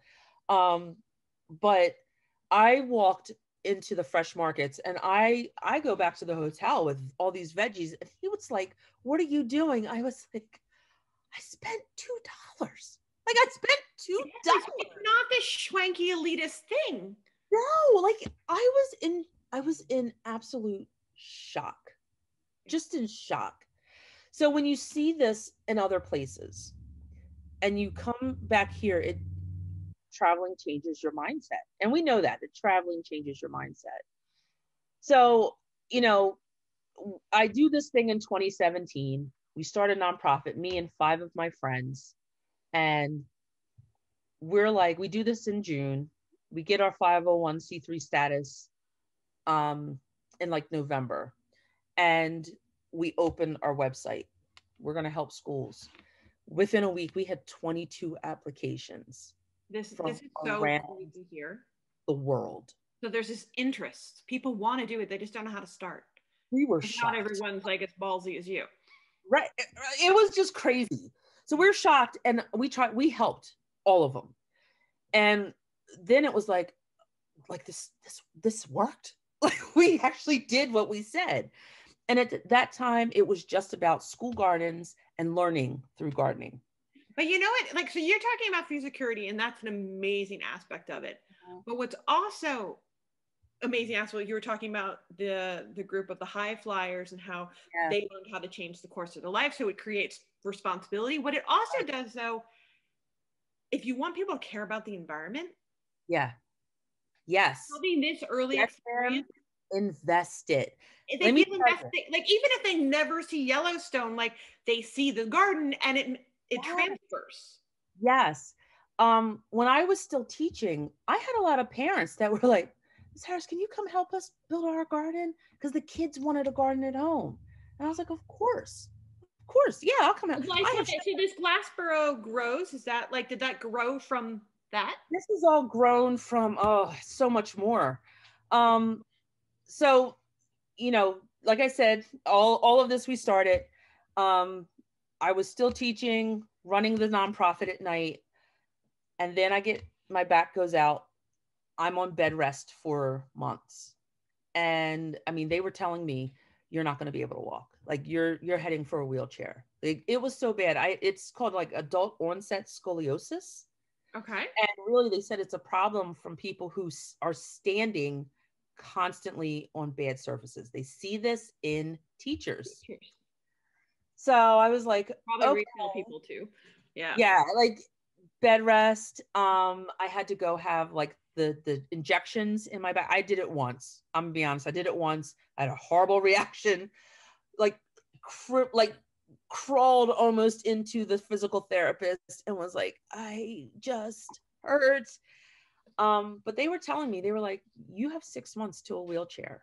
You have six if you don't change your habits and stop or like no, just, just months to a wheelchair um so i i knew like i was looking at first at medically retiring so while i was on bed rest i'm doing bullock garden project work i'm connecting with other people i'm r- still running a garden club and doing it virtually so when i decided to retire it was because um 25 years were in but Bullock Garden Project, the nonprofit, was really expanding. And we started really developing partners on a global basis. We started helping people on a global basis. And because I when was saying global, like internationally, people are looking to how do we set Zealand, the UK, Australia, Canada, um, yeah, across the globe. So uh, South Africa, Ghana, Kenya. I mean, amazing, just amazing people who we were able to help. And, you know, then also you're, I had to go internally because I'm like, okay, I can't garden the way I usually do. I have to figure this out.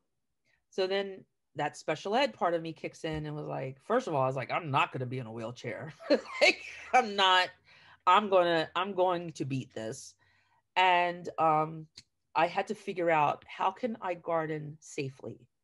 So that just brought another, just another link into the fence. So pandemic hits. I retire, pandemic hits. I'm not in a wheelchair because I have used medication and I have used natural medication. And now, yesterday, it was now legal in Jersey. Cannabis was legal in Jersey. I had a friend. yeah. yeah. Yeah, I had a friend. time, but anyway, let's not. Yeah, let's not that's, like, that's a whole different yeah. conversation. And let's talk. Uh, I mean, for you want to talk about systemic racism and whatnot, that's a whole different conversation. Yeah, no, that I, we that could be a whole conversation, but we won't have yeah. it. so, but I was using like I had a friend who was like, "Honey, let me make you this salve to put on your back. It's going to help with the soreness." And that's what I started using. And I was like, really became interested in the health using just plants, not just cannabis, but plants to heal. So I'm like, plants heal your body, it heals your spirit, it heals your soul, it heals everything. So we're now working with Rowan University because they had this uptick, sadly, in suicides of students with the pandemic. This is pre-pandemic. Sorry, this is pre-pandemic. Okay, yeah. So go back, and so we're talking about healing with plants. We we sign an agreement with Rowan. Pandemic hits. Everyone's panicking. Like, what do we do? What do we do? And I was sitting there with my crew going, we don't have anything to worry about. Like, first of all, we don't have a budget. Like, we're broke. We run we run on like my savings. That's what we were running on. And working on um with donations that we were getting from companies. Uh, I really hate like asking people for money. And I'm like, but do you have gloves? Because I have this school here in Kenya that needs gloves. Or this school in Ghana, they needed a water tank. So we were able to connect and get donations yeah. that way. So that's how we operated. And uh, with the pandemic, seeing seeing the tulips in Amsterdam, they were rolling them out on those big carts and they just started dumping them into a pile. And I was like, what are they doing? Like, oh my God, why it's, are we doing this? And I was like, well, we can't do the festival. So and we're just crashing everything. You have to. And then seeing they did give a lot of them to the nurses in the nursing homes and stuff. But yeah, like but seeing that was like, oh my gosh, like yeah, but the world runs on logistics. It, does. And then seeing farmers like till under their crops because they're like, well, we grow for this and this is closed. And then seeing the lines of people because I'm in Jersey. So Jersey and New York are like the hubs at the beginning for this pi- pandemic. I've I'd say I'll I'll say so it's so painful for me to watch because I have a lot of family and friends back in Jersey. Yeah. And I had done um, a show garden in Moscow in 2019 with a bunch of people from Bergamo, Italy. Oh, so I had wow. a lot of contacts with people in Bergamo, Italy, and I watched oh. all of that unfold. And I'm trying to warn everyone in Jersey, I'm like, take this seriously. And everyone's like, ah, oh, that's there. Like it was amazing. The levels of exceptionalism. At first, everyone's like, oh, that's China. Oh, that's Italy. Oh, that's Europe. and I'm like, oh my gosh. Let me tell you, we were at the Philadelphia Flower Show, and it was like around the end of it, you know, because I was there every day. Um, I'm f- friends with Petra from Fruition Seeds. Um, so I'm, we're all hanging out, and we're like, why are people wearing masks? Like, what is going on? Why are people wearing masks? Yeah, but it was was it, like, was February or March? This is February. Yeah, February was still so early. We had no idea what really was going on. Yeah. And we're like, what are what are people doing? And I remember I went to the doctors like that week. And my doctor was like, I really want you to get a flu shot because there's something nasty that's coming this way. And I was like, nah, I don't work with kids anymore. I'm not getting it. Um, so unfortunately, like uh the end of yeah, end of January, like my aunt had been really sick and she had passed away. And I got super sick like in January. And you do you think it was COVID? oh, I'm sure it was. So, you know, I was just like, dude, I've already had the flu. I'm good, you know, whatever. so he was like, but I want you to do this two week quarantine. And this is, like I said, towards the end of February. I want you to do this two week quarantine. Just please don't go out. Please don't do this. Like, just stay home because your your immune system is already compromised. So I was like, all right, man, like whatever. I don't have a problem staying home. And you know, I was working from home anyway. And uh it hits. And what happened from seeing all of this go on, and then we just started shifting to helping people eat. So we started gleaning food from farms. Um, we started partnering with food pantries, and all the time, like creating that logistics so that people could get it. Right, my social media people are posting um, all of this, and we started growing. We started growing as as a as a nonprofit because now we're making these we're other connections bigger. So we're just like, oh my gosh, like so much of this ties in to what we want to do. And then George Floyd is murdered. And people really started turning their attention to, well, let's look on social media. Like, are there black people who are in horticulture when it became all of the racism really started taking notice. I like, think there was an awareness at that moment. Rising awareness, right. Of, of, how systemic it was. And it's and it's like yeah. and I think some people who are socially active, like this, like yeah. There was a small percentage that were aware of it before, but it, it, it the the percentage of people that were aware of it to that extent, it just there was this consciousness of, oh, like the the veil had been pulled. Yeah.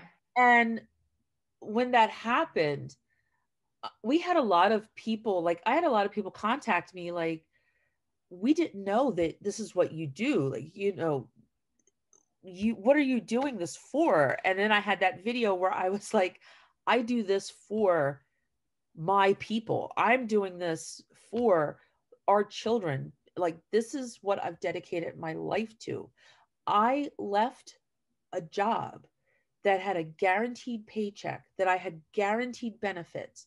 I left that job. I took that leap knowing that I was not going to be able to collect my pension for 13 years. I knew that I was losing my health insurance because I didn't I couldn't retire with a disability only because I was still contracting with some schools in the state of New Jersey. And if I did that, I would not have been allowed to do any work with the state because as a public school teacher you're a state employee for a year. Okay. So i took the loss and just said the universe will provide. You just knew this is what i should be doing. I need I have, this is what i have to do. I have to take the stand. I have to make sure that the schools that are the hardest hit by poverty they have to have gardens because we have to feed people and and teach them to feed themselves. Right. And then because i said you take a seed like our tagline is plant seeds grow futures because you can right. plant that seed plant a seed in the ground. You can grow something that feeds you feeds your family. But we can also teach you how to take that seed save that seed market that seed sell that seed. Take those plants sell them. I mean all the people look honey i so purslane that most people will spray to get out of their yard as a weed that they don't realize this is a superfood. It's high in all sorts of vitamins and iron and you know, it's one of the best things out there to eat and it's delicious. And I could sell it for 20 bucks a bundle. And our bundles were like one ounce. And we were able to sell that through the pandemic, us as Bullock Garden Project, and bring money back into the organization from highbrow restaurants in Philly. Now, the good thing is they were taking, since they were, everyone was shut down, they were taking these things and they were cooking food for people. So in like Kensington in Philadelphia, the Kensington neighborhood where we were very invested, um, Camden. And so we were able to make a profit profit. You're able to keep things going yeah. Going but um by doing this and we're like if we teach kids from the hood this you don't need to you don't need to do all these crazy things. You can no. And you can feed yourself. And the thing is the kids that we work with are embracing this they want to do this so one of the things that i'm doing this year i'm doing in my home garden i have a section that i am dedicating to my ancestry because i had i had my ancestry done um, and it's fascinating but I want to really focus on reclaiming the soil. And we have to do that. We have to start teaching our young people and anyone who loves to garden, who wants to garden, that we have to honor the soil we're on, this stolen land, worked by stolen people. We have to make sure that we honor it and take care of it. So when you mm-hmm. talk about, you know, caring for the earth, that's where that really comes in. So we're meeting people who really are interested in the backstory behind the land. Um, so the Glassboro Grows project. I chills hearing this, by the way. Like this, oh, uh, but this is the important thing, and the Glassboro Grows project is kind of part of that. We are part of a grant with Rowan University, and they knew that one of our goals was to feed people. And through them, they were able to give us funding so we could buy supplies where we give people kits to grow food in their home. So if you live in that subsidized housing and you have a little apartment or you know, you don't have space outside, I have done it. I have grown like this is my east facing window there you can't see it because my my monstera is in the way. Like I see plants. There's a lot of plants. There's a lot of plants back there, and a lot of things for growing. And I've grown string beans, peas, tomatoes. Enough sun in that window, or do you have like grow lamps? I have both. So I use the I use the grow lamps for the things that I know are going to die if they get a cold breeze because there's still a little chill that comes from that window so tomatoes will go in there sometimes. Mini bell tomatoes will grow right on those chocolate mini bells. Mm-hmm. Uh, don't even get me started on Jersey tomatoes. I'll be like, oh my god, they grow right there on the, mm-hmm. on the windowsill. And then I just put strings in there, twine stuff I got from the Dollar Tree. I put it up there and you know can grow. So I've been able to teach people you can take five dollars, go to Dollar Tree and get everything you need to start a garden. But through you this, don't need a big piece of property. You don't need a fancy anything. And you don't need to have all these like pots and, you know, I can teach you how to take that Dollar Tree soil and kind of sterilize it because we don't know what's what's in that. Sterilize it, add some things to it that you have at your house to give it some extra nourishment, and then grow with it. Like, I I think that's I think sometimes like gardening gets made into this like super complicated, you need all this silly equipment, and it's not. It's just like no. put the seed in the soil. and I said to someone because I talked about how I how I do um, part of my gardenscape, and I'm gonna have to send you pictures.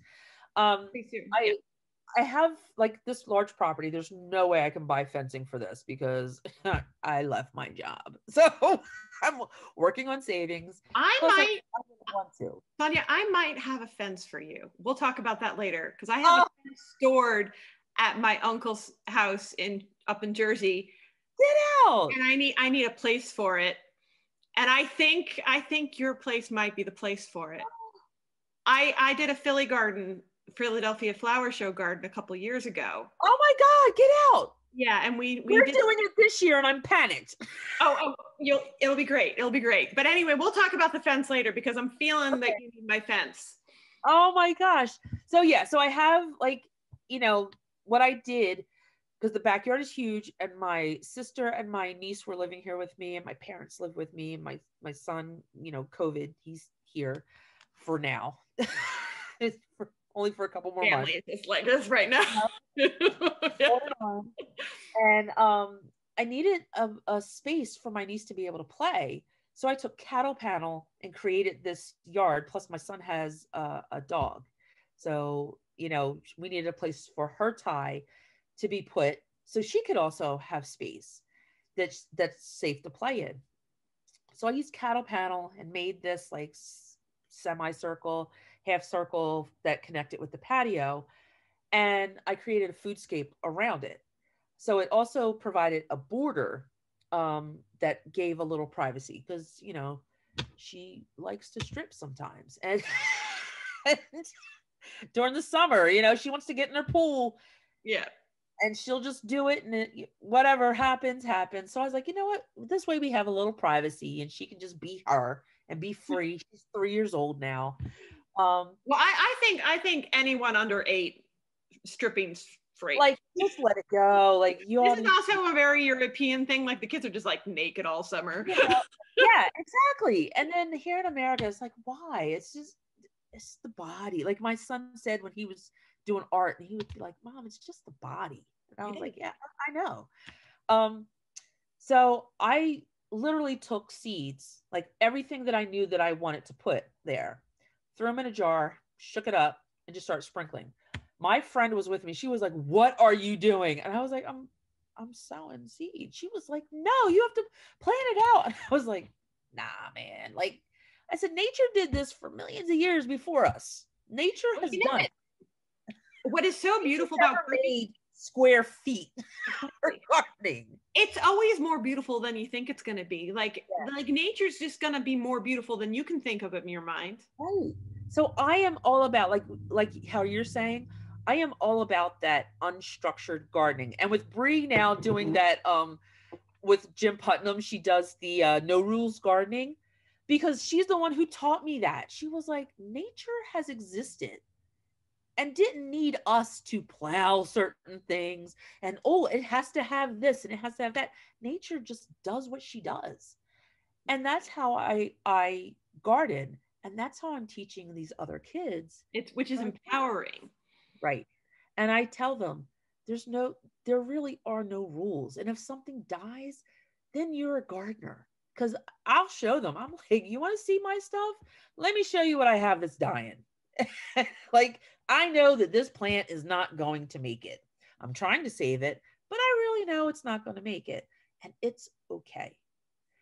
You know, and just being able to teach people that we don't have to be so structured and it's okay like uh, it now now i'm i'm into garden design like i look at this journey and i'm like when the heck did that happen like like my friends, my closest friends will be like, "Who are you?" They when they especially when they see me outside, they're like, "What? We don't know you. Who is this person who wouldn't touch soil?"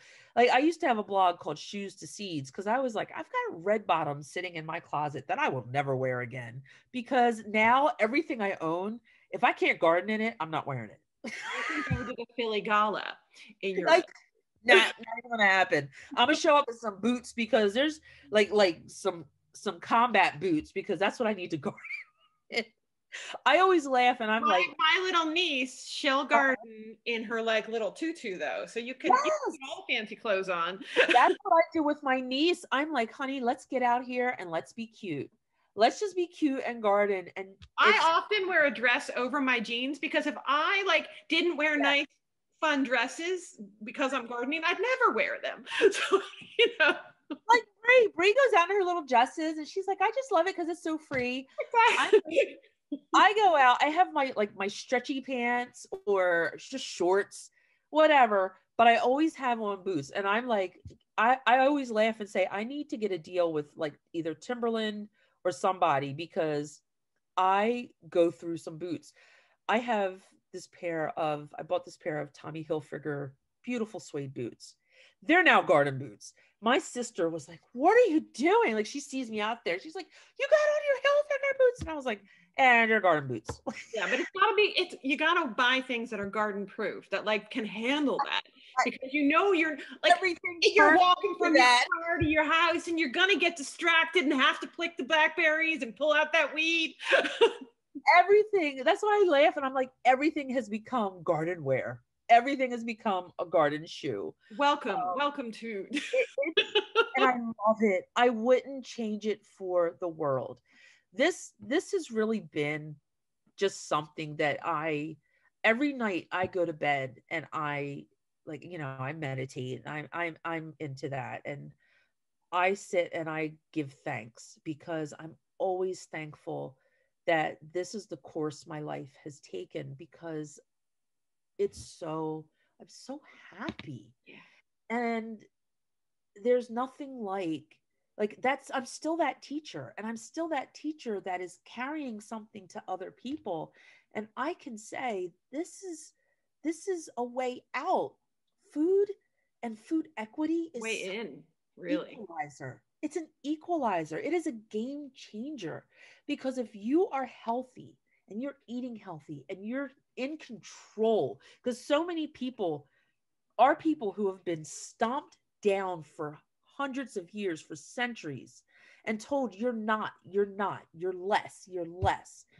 When you have that control of that soil and that ground, and you have planted something and you are in control of its growth and its harvest, and it's you, it becomes you. There's nothing more powerful than that. There's nothing more powerful. The like we are of the earth and it's returning to the earth. It's reclaiming yeah. our birthrights as humans placed here to be ambassadors of the earth. And this is what we are moving a whole generation to. So my goal and my goal, especially here in New Jersey, and I am, I had that little chat with Cory Booker. I, I watched your chat. And I was really holding my tongue because I don't see him in South Jersey a whole lot unless it's a photo op. And I am holding his feet to the fire. I email his team once a week. And i was told like oh we gotta like you know you gotta go through this process you gotta go through that process.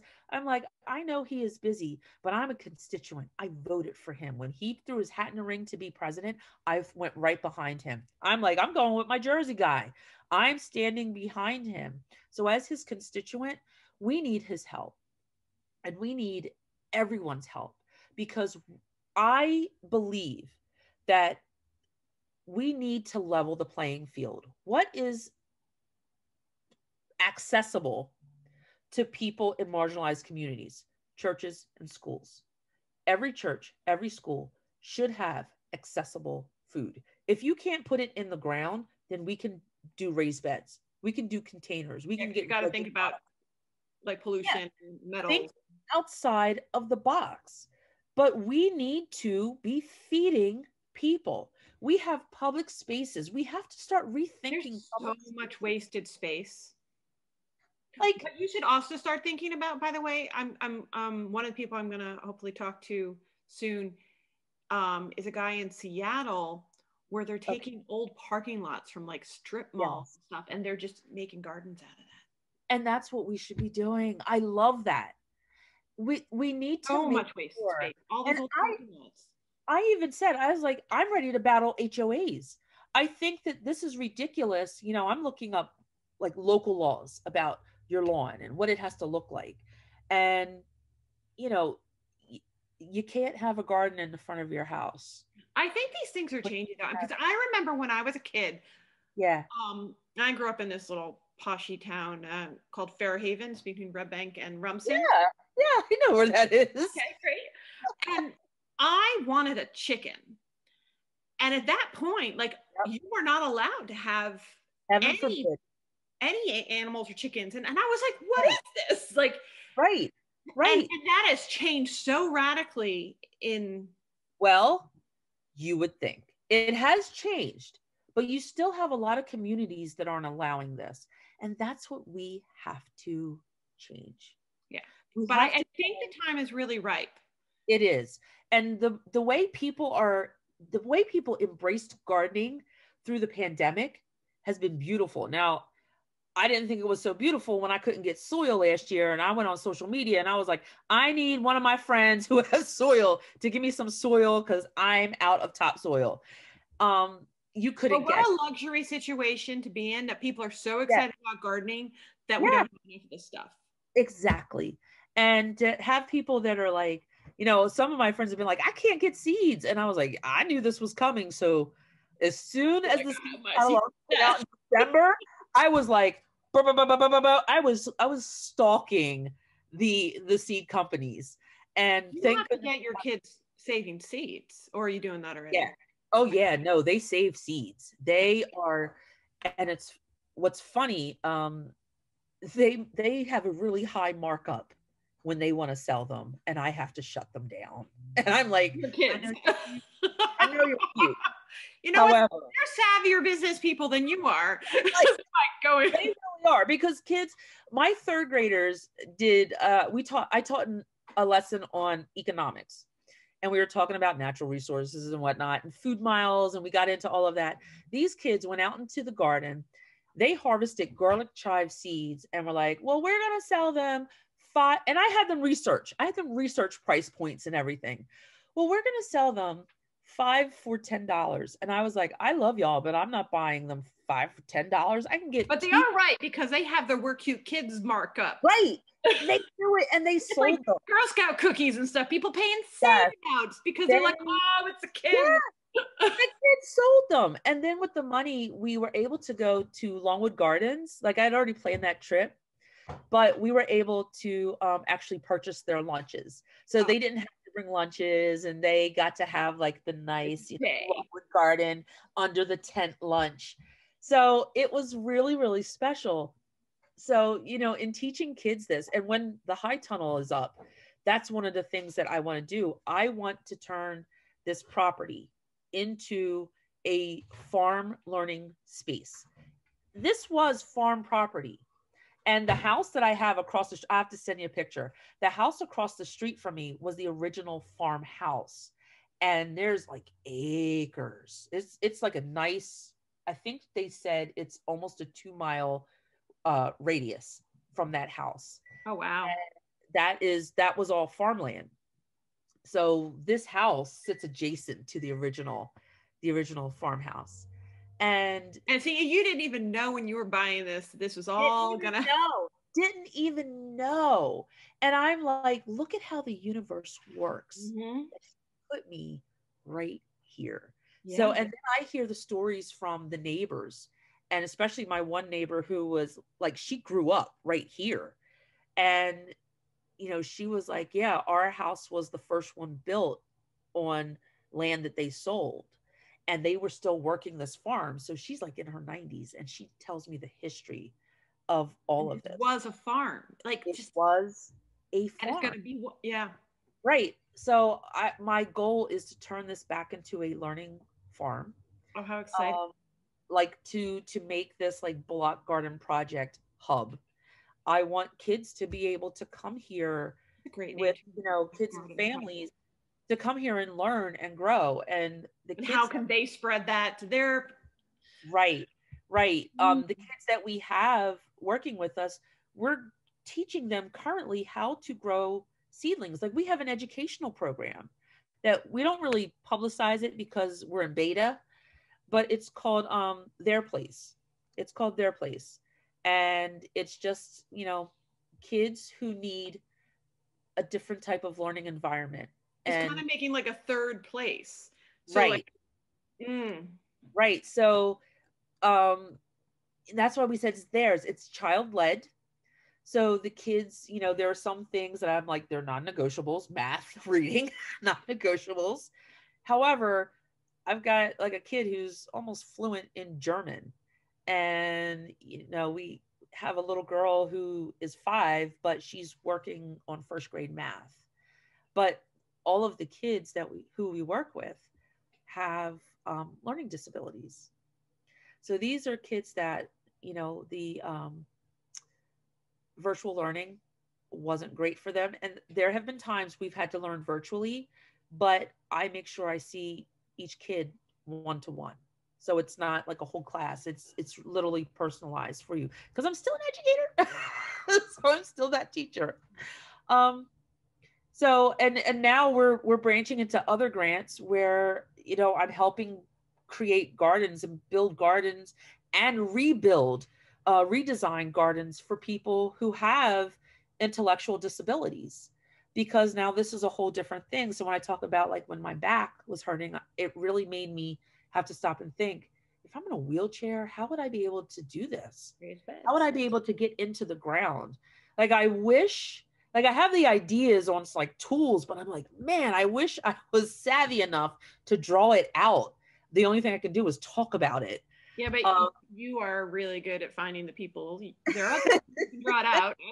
Yeah, like I need someone to like draw the ideas out, like how we can make things more accessible. But I'm telling you, there's so much that lives in here. If it wasn't for my board members and like my staff I, I don't know how on earth I would be able to do all of this because, like, in my head, I see chapters of what we do. And I would like to have chapters across the globe of the Bullock Garden Project. And what do you great do? name, Bullock Garden Project, by the way. Really. Oh, thank you. And like I said, it goes back to the original binder, to that binder that was just held with ideas. And like, what is this? I have all these little notes in it and it's so funny that I I look at that and I'm like it keeps me so centered because I'm like that's where it started and it, all it is all we are are about teaching people how to garden, how to yeah. feed yourself, the beauty of it, the mindfulness of it, all of the benefits that it gives, and being stewards of the earth and all of yeah. it my son calls me Moonbeam. Like he was walking past here, you know. like, ah. He's like, like, like a plant comes in the house. He's like, really? Because I know, but this is all this this is all part of being a gardener. Like you're just gonna yeah be plants and like you'll be obsessive about it for a long time. And this then... is life. Like I am obsessed. I am obsessed. Um, I don't need any more seeds personally. At this moment but when I see something like I continue to buy seeds and plant, I, it just it's it's life. It is just life. Oh my gosh. Yeah. He's like, how long are you talking? I know, I know. I'm surprised Luna hasn't come in here like, um, Ma. yeah, I, I think we're gonna slowly have to round this off and we're just gonna have to follow up when you're further with your Bullock garden project and everything. Oh my gosh. But yeah, we are we are we are doing we are doing some amazing work and yeah. i wanted to ask you about if you were pursuing this this longwood thing yes yes i think Long would be a great because they're all about education too yeah i i i am because i want to just immerse more and learn more so i am pursuing it i did i did apply I know people there, so I'm hoping that they see my name. It's, it's, a, it's, a, really great program, and you'll be immersed in a world. Yeah, network that will be. The only thing I was concerned about was do like making like do I have to live there because I'm like. Oh, I don't know. Oh, I don't minutes know. outside of there. They have a program, and they're like, "Oh, we provide housing." I'm like, do I have to live there because I can? I'm good. Well, I think a lot of people who do it, and yeah, then you need to see like what type of things if there's like a part-time thing or whatever available. Look, I don't even a lot care. of people like they go on like full on internship and so like yeah. you like yeah, it's a bit immersive. I'm gonna go with whatever they tell me. If they say if I get in and they say yes, I'm gonna be like, bet. yeah, in some ways, it's kind of this crazy great opportunity to just like yeah. People are coming home too. Look, here she comes, here she comes. you heard a puppy? Did you hear a puppy? It's okay, mama. It's okay. Were you sleeping? Like now she's here. She like I heard someone. Hello. Yeah. That's the garden puppy. When we brought her home, the first thing she did, literally, was she sniffed out gar- uh, carrots in the garden and ate them. And I was like, "You are a garden puppy." Um, but yeah, that is really. I I just want to learn as much as I can. So, but don't underestimate what you already know and keep your main goals because I think you've got some momentum in this in this Bullock garden project and all these people reaching out. So make sure you keep that momentum and don't get okay. like because I can see you being like, I need to learn more, I need to learn more, and like under underestimating how much you already know about where you need to be going. Thank you. I, I know, like, I put that post up and people have said that. They're like, and Brie even was like, you know, quite a bit. And, you know, she's like, don't like go on what you know. And you, you, you like, know how to find things out. Yeah. Yeah. And that's like, like people are going to school for the first time like they're mostly learning like how do i learn to ask the questions to find the answer? Do you know what i mean? Yeah. right. And- so the the shift that i did after that discussion and reading all the things i was i was taking grad classes and i was like you know what? I'm switching it up.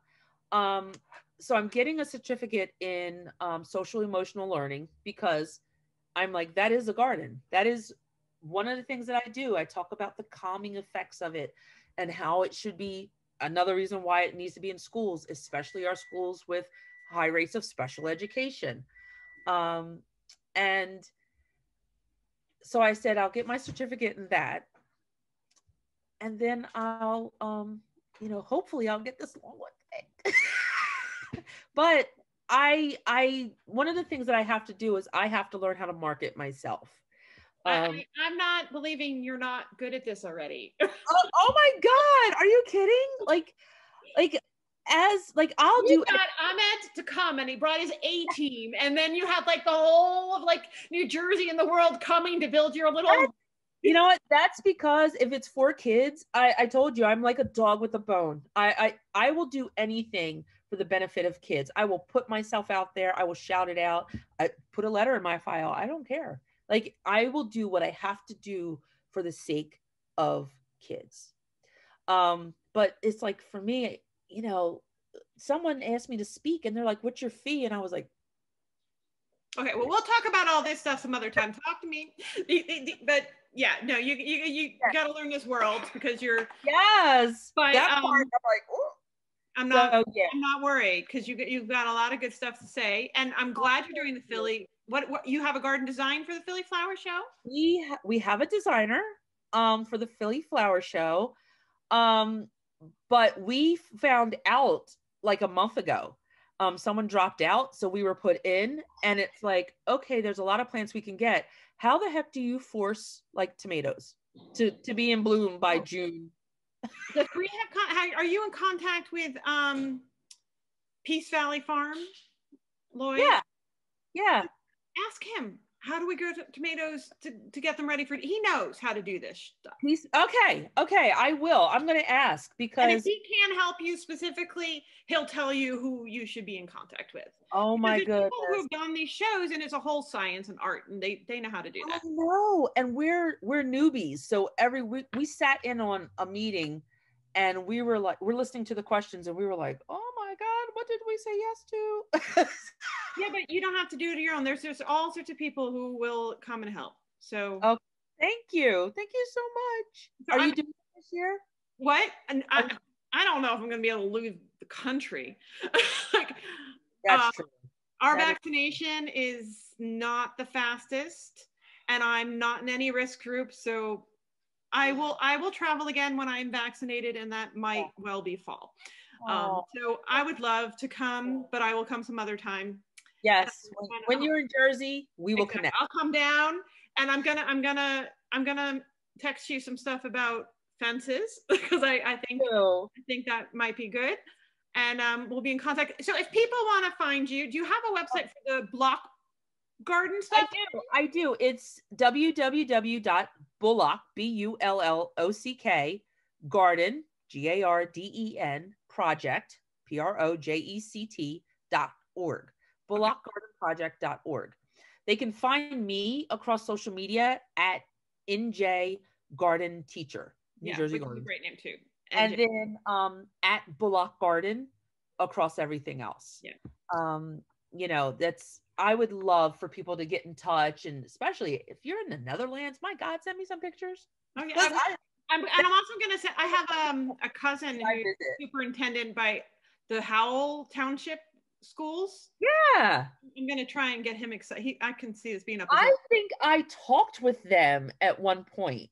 Oh, it could be. I don't, I don't know what happened, but I think I think that they were in connection with me at one point because I was like, yeah, I'll drive up there.